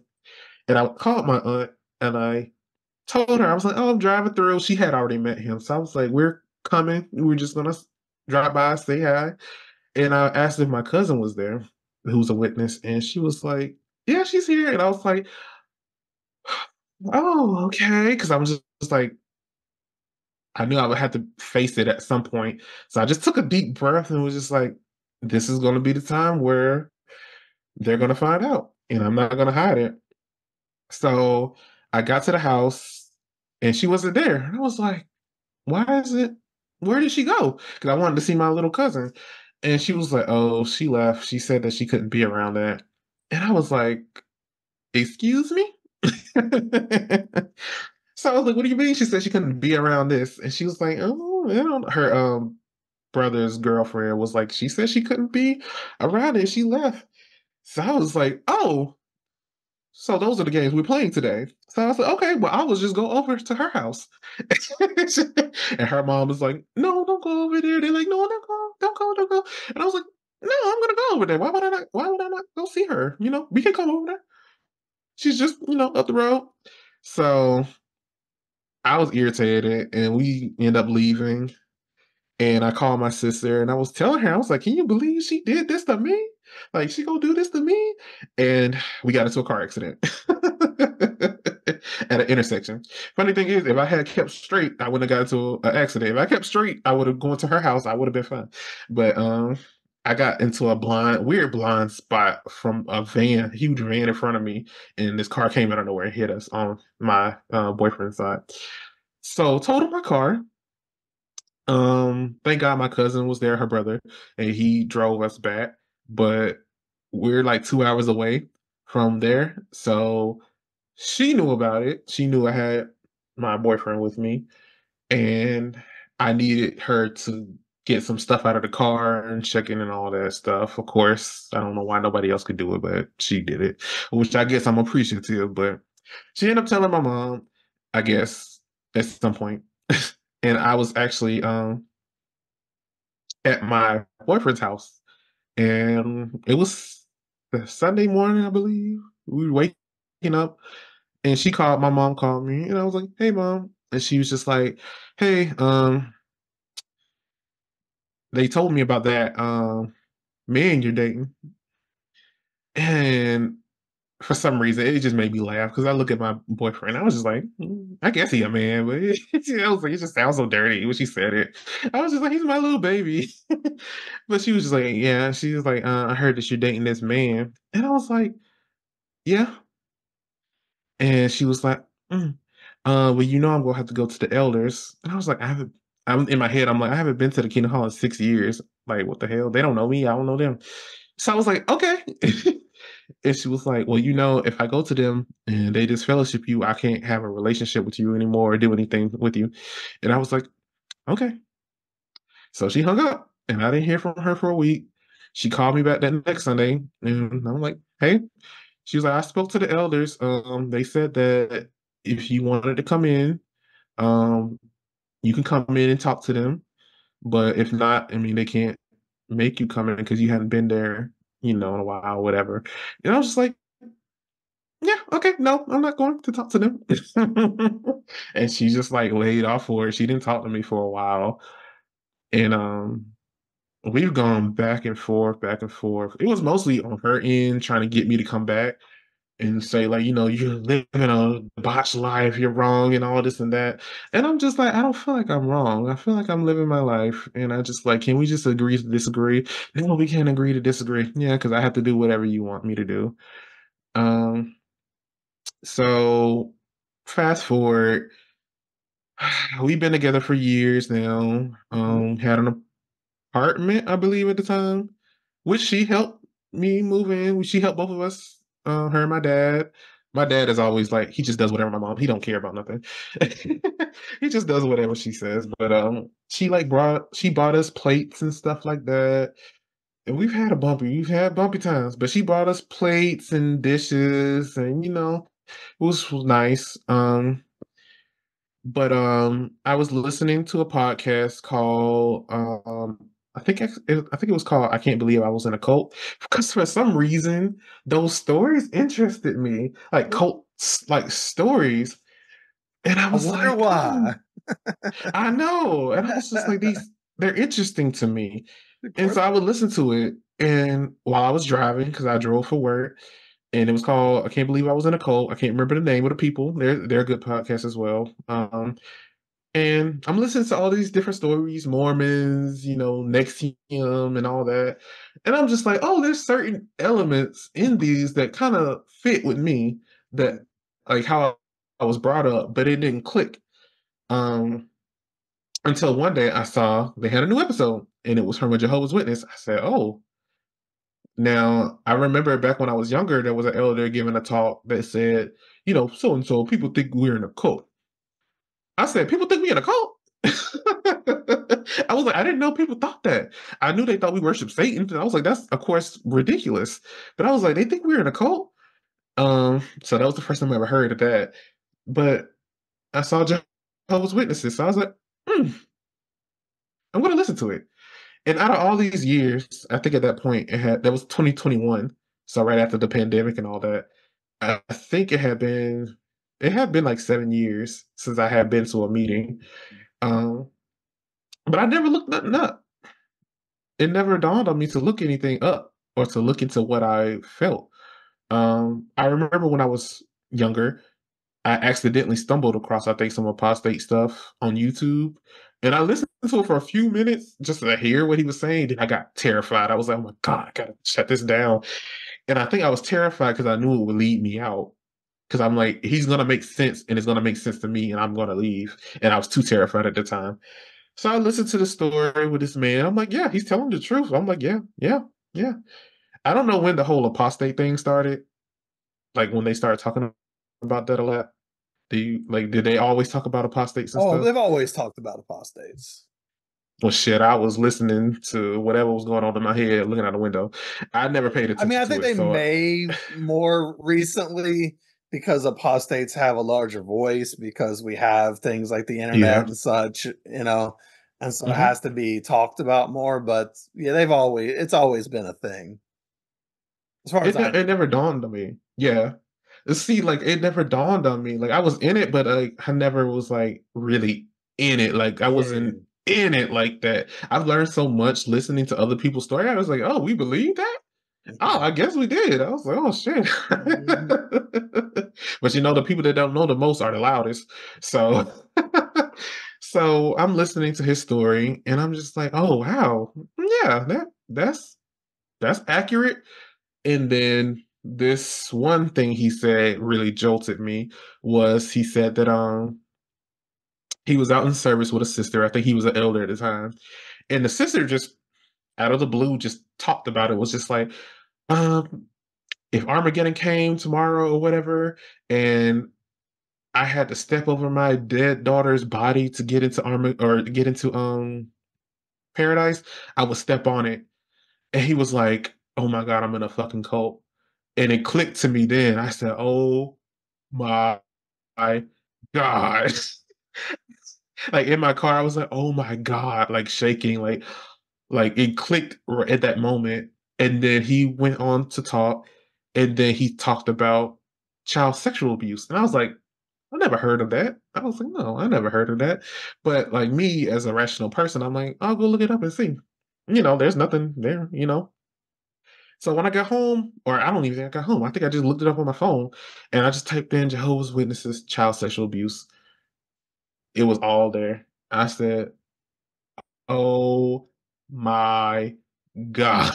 and it just like everything just fell into place. I think everything is a very abrupt with me. It doesn't really take its time. It just kind of just bam hits me. all at once. Seven years later, like have not been at a meeting, do not believe in it. Um, believe in some of the principles maybe, but not sure. I just knew something wasn't right. And um I just couldn't believe it and I just went down this huge rabbit hole. Um, I think I ended up typing in on the web on the site that I use for podcasts to listen to. I ended up finding um, critical thinkers um, with JT and Lady C, and I was like, they sound like people I know. I was like, they sound like people I know. Like JT has a little southern twang, and I'm like, you know, I'm southern. I'm like, yeah, I feel this, and so I'm listening to them, and I'm listening to another story about a, a brother talking about how his wife and kids basically left him. And about the blood transfusion and the organ donation, I was like, they didn't believe in organ donation? It's like, no, they didn't believe in vaccines? No, like they didn't believe you couldn't even get blood fractions or anything. No. And I'm like, I would be so pissed off if somebody I knew passed away and I believed in this. I was like, thank God I didn't have well, when I was growing up, I didn't have a blood card. I don't think I ever had a blood card. But I was like, I started thinking, I was like, if I got into an accident, would my mom have given me something to save me? Or she would have just let me become a martyr? Like, would she have just let me die? So that went, oh God, I went down a whole rabbit hole with that. People said they go down a rabbit hole. I went down. I crashed. I've listened to them. I think I end up next. I found your podcast, and I like the formatting better because I like to hear people tell their stories. I like to hear what their experience and as much fullness as it can be. So that's when I just started listening. So like some of yours were like three or four hours long. and I'm like, on a day I got a long stretch, I gotta drive four hours. I'm like, this is the perfect thing. I put on, on podcast as soon as I leave my house. By the time I get to my destination, I'm upset. I'm cussing. I'm crying. I mean, look, it, it's hard to it's hard to argue with somebody's experience, right? We can argue doctrine, exactly. we can argue whatever, but a lived exactly. experience is much more valuable than an opinion. Exactly. It, it, I rather I rather hear what people went through than to listen to somebody say, "Well, this is this and this is why," and I'm like, "That's fine," but I'm I I don't want to just listen to somebody. I like to go find it out for myself. So just like I found out about the child sexual abuse, I was like, I never heard of that, so I, but I'm going to look it up before I believe it, and I looked it up. It was plain as day. It was there, and I'm just like, okay, like could this be? You know, I'm like, no, these are court records. What? What is happening? How did I never hear about this? How has nobody ever heard about this? And um, I was like, I'm not gonna tell my mom. I can't. I'm not gonna talk to her about this because she'll think I'm crazy or whatever. I don't know. And um, I went down the rabbit hole, um, finding out a whole lot of more things. JW Facts is a lifesaver. I love JW Facts. Uh, I love your podcast. I love Lady uh, C and JT. I listen to all y'all still to this day. Um, what else is there? Oh, your Facebook group that helped a lot. We're venting because nobody else understands what you go sure. through. So I tell like my, I tell my boyfriend, I tell my sister, and they're just like, "Oh, yeah, well, we know that." And I'm like, "Well, it's a little bit more deeper than this. I need to tell you so you can understand it." So I'm like, there's places where there are people that get it. I don't have to explain too much on it. And I'm like, I know they're telling the truth because sometimes they put themselves in bad light. Like telling their story, we all have situations where we made bad decisions. I'm like, they wouldn't just, you know, put that out there.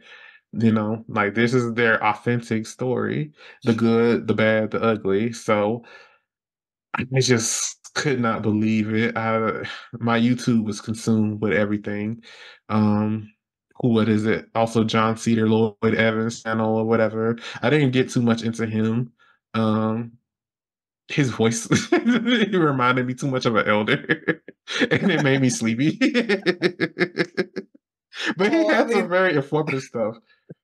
There's a lot of people out there, and I mean, there's even more today than there probably was then. There's always more and more. Um, yeah. But you found all this stuff out. Did you said you weren't gonna tell your mom any of it. Did you mm. did you refrain from doing so, or did there come a point where it felt necessary to do so? Um, how did it start? Oh, okay, yes. I put in like little, I put little hints out there, like list questions. I didn't go full force, I think the one thing that irritated me the most was the whole United Nations thing and mm. that they were a part of it. Because I know when I was growing up, definitely United Nations, they're the devil or they're well, whatever, they're part of the world ending. And so I just sent her um I think a screenshot of something and it it was talking about that, and I was like, "Did you know that this happened? You know, did you know that this happened?" Um, no, I didn't know that this happened, but you can't believe everything that you see on the. Well, okay. Um, I was like, well, these are like you know legitimate documents showing that they were a part of it. And I was like, once they were found out, they uh, retracted from it like the next day or so.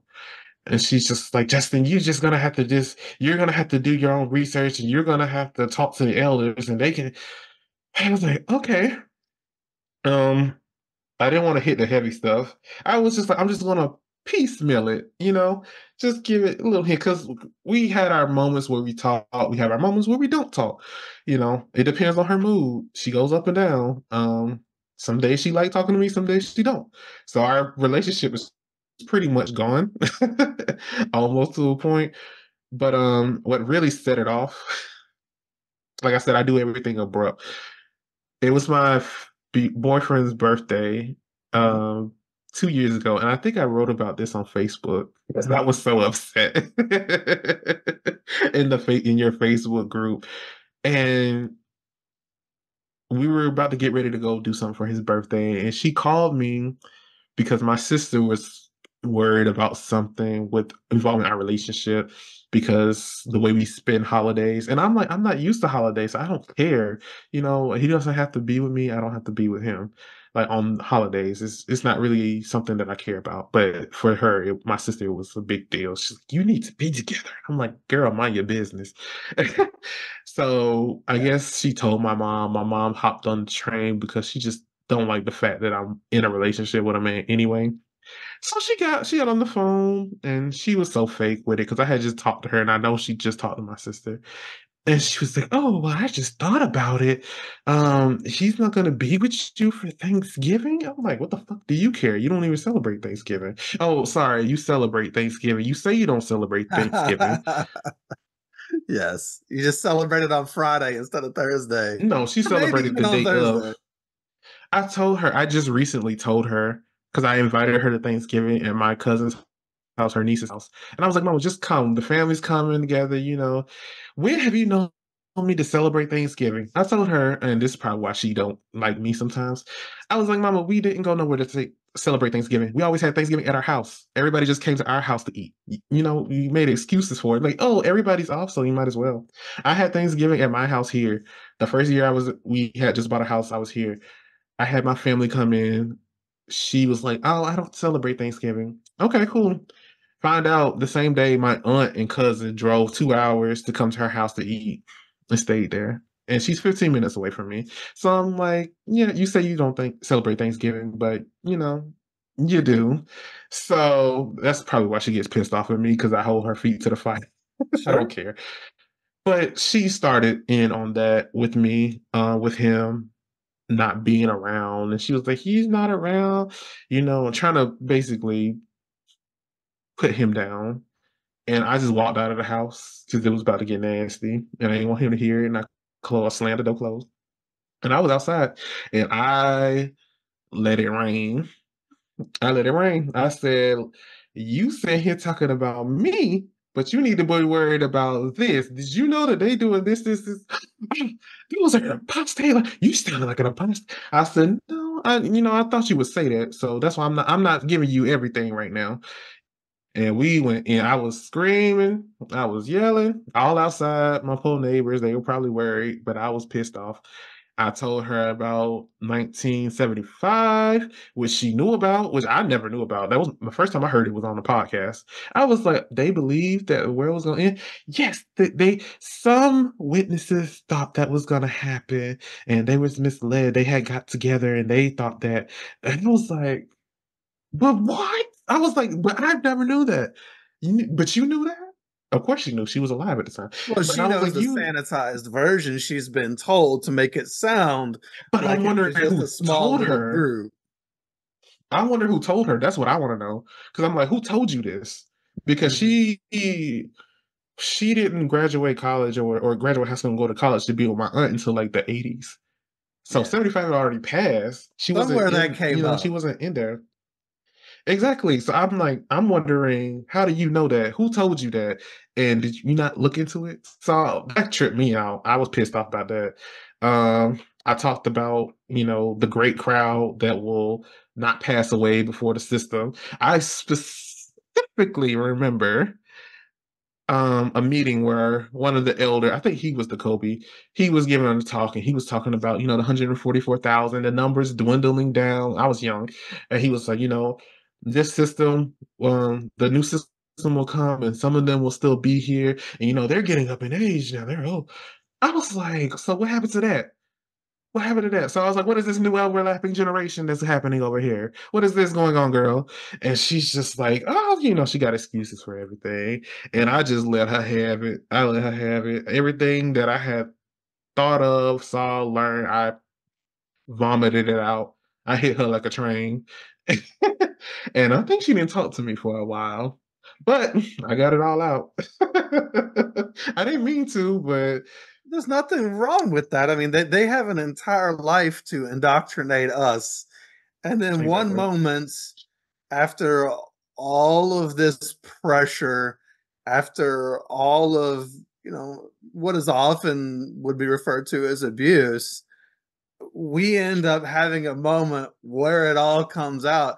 And then we're supposed to feel bad because we finally said something no, I, I, I, got mm. no reason to feel bad about anything. Exactly. Uh, I didn't. I'm not the one who started this fire or started this war. I just ended it. And I did it so respectfully. I didn't cuss. I didn't do anything. I didn't, you know, I did it. You did. So if emotions came out that way, it it's so pent up in people. It comes out how it has to come out. Yeah, I vomited it. I word vomited it. Of course you did. I, and I I knew better without anybody telling me. I knew not to do that. That's why I wasn't going to. I was just like I said, piecemeal. I'll throw you a little piece here. I may throw you something just to get the little turbines going, but mm-hmm. it didn't work. And I, no. I, I let it all out because she pissed me off, and sure. I didn't care at the time. I was defending my man, so I was like, "You ain't gonna throw stones at well, me, yeah, baby. I'm gonna throw a bolt at you." Yeah. Mm-hmm. Yeah, I was like, you ain't gonna throw no stones at me. I'm gonna throw this boulder at you, baby, and keep walking. So we didn't talk for a while after that. um, but I just kept on the journey of just learning. Mm-hmm. Um, I'm still on the journey of learning. There's a lot of things that happen or we supposedly believed in that I didn't even know. And I look back now and um all the kids that I grew up with, I can't think of one that's still a Jehovah's Witness. Maybe the one that was my friend, but I haven't talked to him in years. And I saw him getting engaged recently, and the girl ain't a sister, I don't think. So I don't know. And nobody I know is still in it that I grew up with. So I kind of kind of threw that in her face a little bit a couple days ago. she was talking about. I was like, "Oh, you remember so and so?" She was like, "Yeah, what happened to him?" I was like, "Oh yeah, I don't know, but he got a full body tattoo, so yeah, I, I don't know. You know, you may want to take this nice gay son. You know, I pay my taxes, I work, I pay my bills. You know, I don't cause you no problems. I don't cause you no troubles. I'm not having a smorgasbord of children. You know, I'm very, you know, other than my doggies, those are my babies. But you know, I pretty much live life. I live with my now fiance. We're engaged, getting married next year. Um, Congrats. She was okay with that. She was kind of like, I wanted to tell her before somebody else told her, and she was kind of like, "Well, just you know." I was like, "Yeah, I know, I know, I know." I was like, "I'm just letting you know, all right?" Because you know, you say that you hear things from other people, so I'll let you know. But she is not invited because my sister tried to invite her to her wedding a couple years ago when she got married, and she turned her down. She said, "No, I'm not coming to your wedding," and it hurt my sister so bad and it pissed me off. I was uh, I understood her at first, but then I asked my friend Nina. I was like, I told her about it, and she was like, "Well, my mom a witness, and if one of her kids were gay, she would come to her, their wedding is their child." And I was like, "Girl, you know what? You're right." So I was like, "You know what? You messed up." So I was pissed off at her about that. So when I got engaged, they were like, "Oh, you didn't invite your mom?" Everybody asked, "Oh, is your mom coming?" I was like, "No, she's not invited. She already told me." She told me where she is with me. She told Mhm. me what she wants or what she will approve of and all that. So I was like, I don't have to ask her. No, you don't get to I'm gonna go get disapprove of me daily and then come to the party. Exactly. And I'm just like, I'm not gonna give you the satisfaction of declining me. That's one thing. So anybody who ain't cool with me, I'm like, I didn't invite. So she's not invited. I tried to invite my stepdad because I know he doesn't care, but he he likes to have a peaceful home with my mom. So he's not coming. So he's the only dad I know. I met my dad a few years ago at 20, but I don't care about him. but with him came three other siblings who are okay with one. I got a brother. So I finally feel like I have a brother that I get along with. So he's cool. He's Nation of Islam, so that's interesting. Um, so I didn't think we would get along. Uh, I don't know if you know too much about Nation of Islam, Yeah, I know. but they're kind of like they're they're kind of like their own little thing, you know, going on over there. So I didn't think me and him would get along, but he is very supportive. He's cool. He's not homophobic, at least not to me. and he's gonna be at the wedding with his wife and his new baby. So. I'm happy to have them. But not as far as with my parents, I don't really like I said, they live 15 minutes away from me.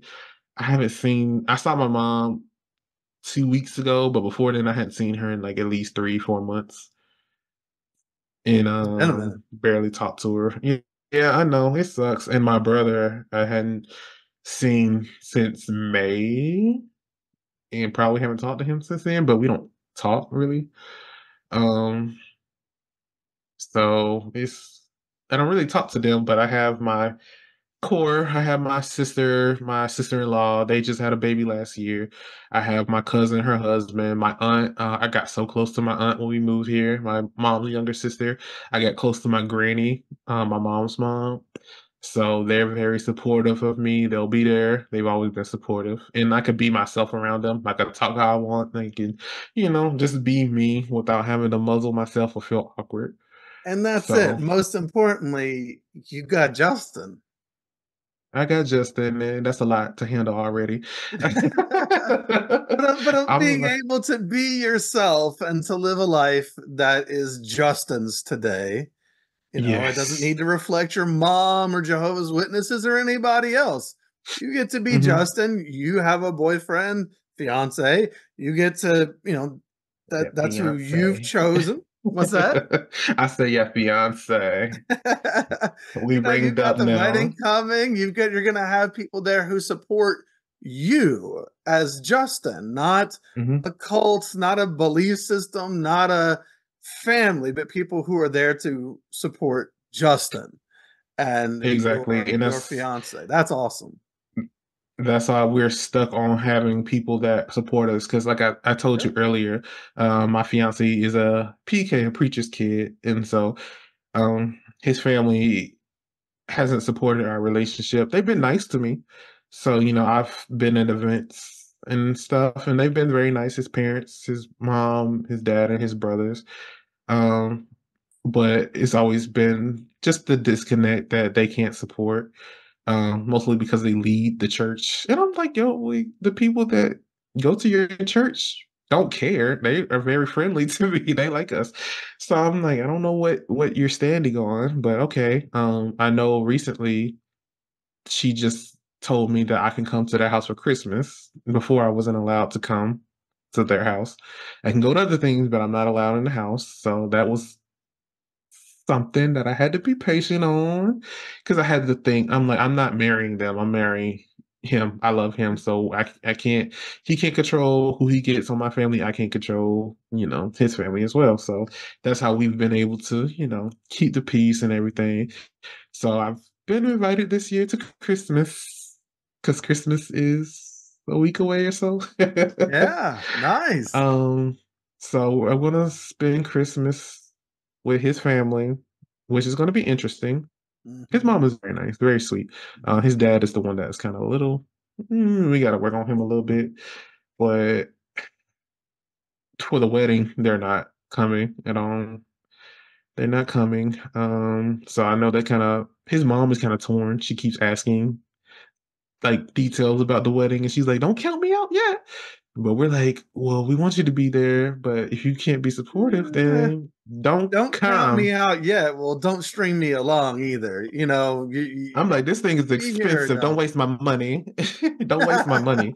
Yeah. So, this is very expensive, and, um, I have my friend Nina, I invited her plus one. I had my other friend, um, who's a witness. Well, she's not a witness now, but she was witness, and, um, in that Kingdom Hall, I was the only one that was baptized other than my friend, um, the other one. So, none of them really have to deal with the whole shunning thing, um let's let's end let's end this on Justin. So, Justin, what do you have today that you really love about your life? What do you want to have in your life? You know, you've got the wedding coming up and everything. So, just, you know, what do you enjoy about life today and what do you hope to see going forward? I enjoy that I can be authentic in my life that has brought me less stress. I am joyful that I can control what happens in my home. I have a very peaceful home. We do not argue, that we do not fight. we have our normal disagreements and we move on from there. There's no yelling, there's no screaming, there's no throwing. Um, I have my two doggies that I love. They're my babies. They make me happy. Um, mostly I just love having my space. I prayed for my own space away from that house for so long. And my mom, she would be like, "Well, why why do you act like you hate us? Why what have we done to you?" And I'm just like, "Baby, I don't know what to tell you. You're just making me miserable. I'm miserable here." So I'm happy to have my own home with my fiance, getting married, starting a life, hopefully having children the next year, couple years. Um, I'm also in school to get my degree, so I should be done by 2026. Um, I'm getting an associate's while I'm getting my bachelor's, so that'll be done next year. So that's like six months away. I'll be done with that. Um, thinking about going to get my master's too. Why not? And what? what are you so, going to uh, school for? I'm going to school to get an associate's in information technology, and I'm getting a bachelor's in data analysis. Nice. So yeah, so we hopefully we gonna be making some good money, rolling it up in there. I ain't gonna come in with no baggy, dingy suits, okay? Everything's gonna be spelt. Everything is gonna be right and tight, okay? Like we gonna have some nice, clean shoes on. We gonna have some nice accessories. I seen some of them rings that them body members have. I said, oh, I wonder how much that costs. Okay. We're gonna get you a pinky ring and You a, a give me a pinky Rolex watch, right? Oh yeah, we're gonna be rolled out. Have a couple couple different rings on here. Have some cufflinks, you know, have a nice tie that I don't just clip on. We go I'm gonna learn how to tie a tie one day. So we go turn we gonna learn how to tie the tie. So um hopefully that's in the future. That's what I'm hoping for. Um I'm probably needing to go to therapy. I'm open to the idea. I just haven't had the time or I think the resources with my insurance yet, but I'm open to it and I plan on it because I'm like, there's a lot more deeper things to It's very important as somebody who works with people daily. It's very important Yes, to to work on that stuff because there are patterns there that will be repeated if we don't uh, understand where some of this comes from. exactly. And I applaud you on that because I could not, I couldn't imagine myself having to hear so much like dark, deep stories. Some of the stories that I've heard on your podcast, I was like, oh my God, like how did how do you mentally deal with it all the time? Like listening, like having to listen to it, as well as um what is it? Uh, coach them, coach the people too. I was like, God, I hope he, I hope he gets some good vacations. I was like, mentally, I take care of myself for sure. Yes. yeah. After a good, after I, the deeper ones are the real good ones. I like to get deep down in them. Like if I'm not angry and upset and crying, I'm like, uh, but if they'll, if I'm angry, upset, crying, I'm like, oh, that's a good one. So I'm like, how does he get through this? Because I feel like I just been ran through the ringer. I'm like, oh my God, how do these people survive this? Oh, Jesus. Well, But you you can now, survive anything. yeah, and now, Justin, you've. No, I, I know I've said this at the end of other episodes, but you've added your story to that rich tapestry of human experience that is all of our experiences of, of coming through these various groups. And of course, mm-hmm. Jehovah's. Witnesses being primarily the one that I uh, end up talking about. And I'm just happy that you get to be a part of it too. I'm just sorry you had to be, but I'm, I'm happy that since you had to be here, you are telling your story to help others. I look at it as everybody has a story to tell. So everybody has, you know, they've gone through different experiences. Some are worse than mine, some are better than mine, you know. We all have things that we go through, and I think it makes us who we are as long as we survive through it. And this is what I always tell my fiance when we're going through something tough. I'm like, it's going to get better. it may be hard right now, but it's going to get better. And I look back at those days when I was a teenager and I was depressed and having suicidal ideations and just wanting to get away from where I was at. I was I would look and be like, in a few years, you know, it'll be better and I'll be in a better situation. And so I can look back now and say, I've made it. I'm in my own situation that I can create and control. And I don't have to tell nobody or have somebody tell me how to live my life, what I can and cannot do, what I can and cannot wear, what I can or cannot say. So that makes me feel good.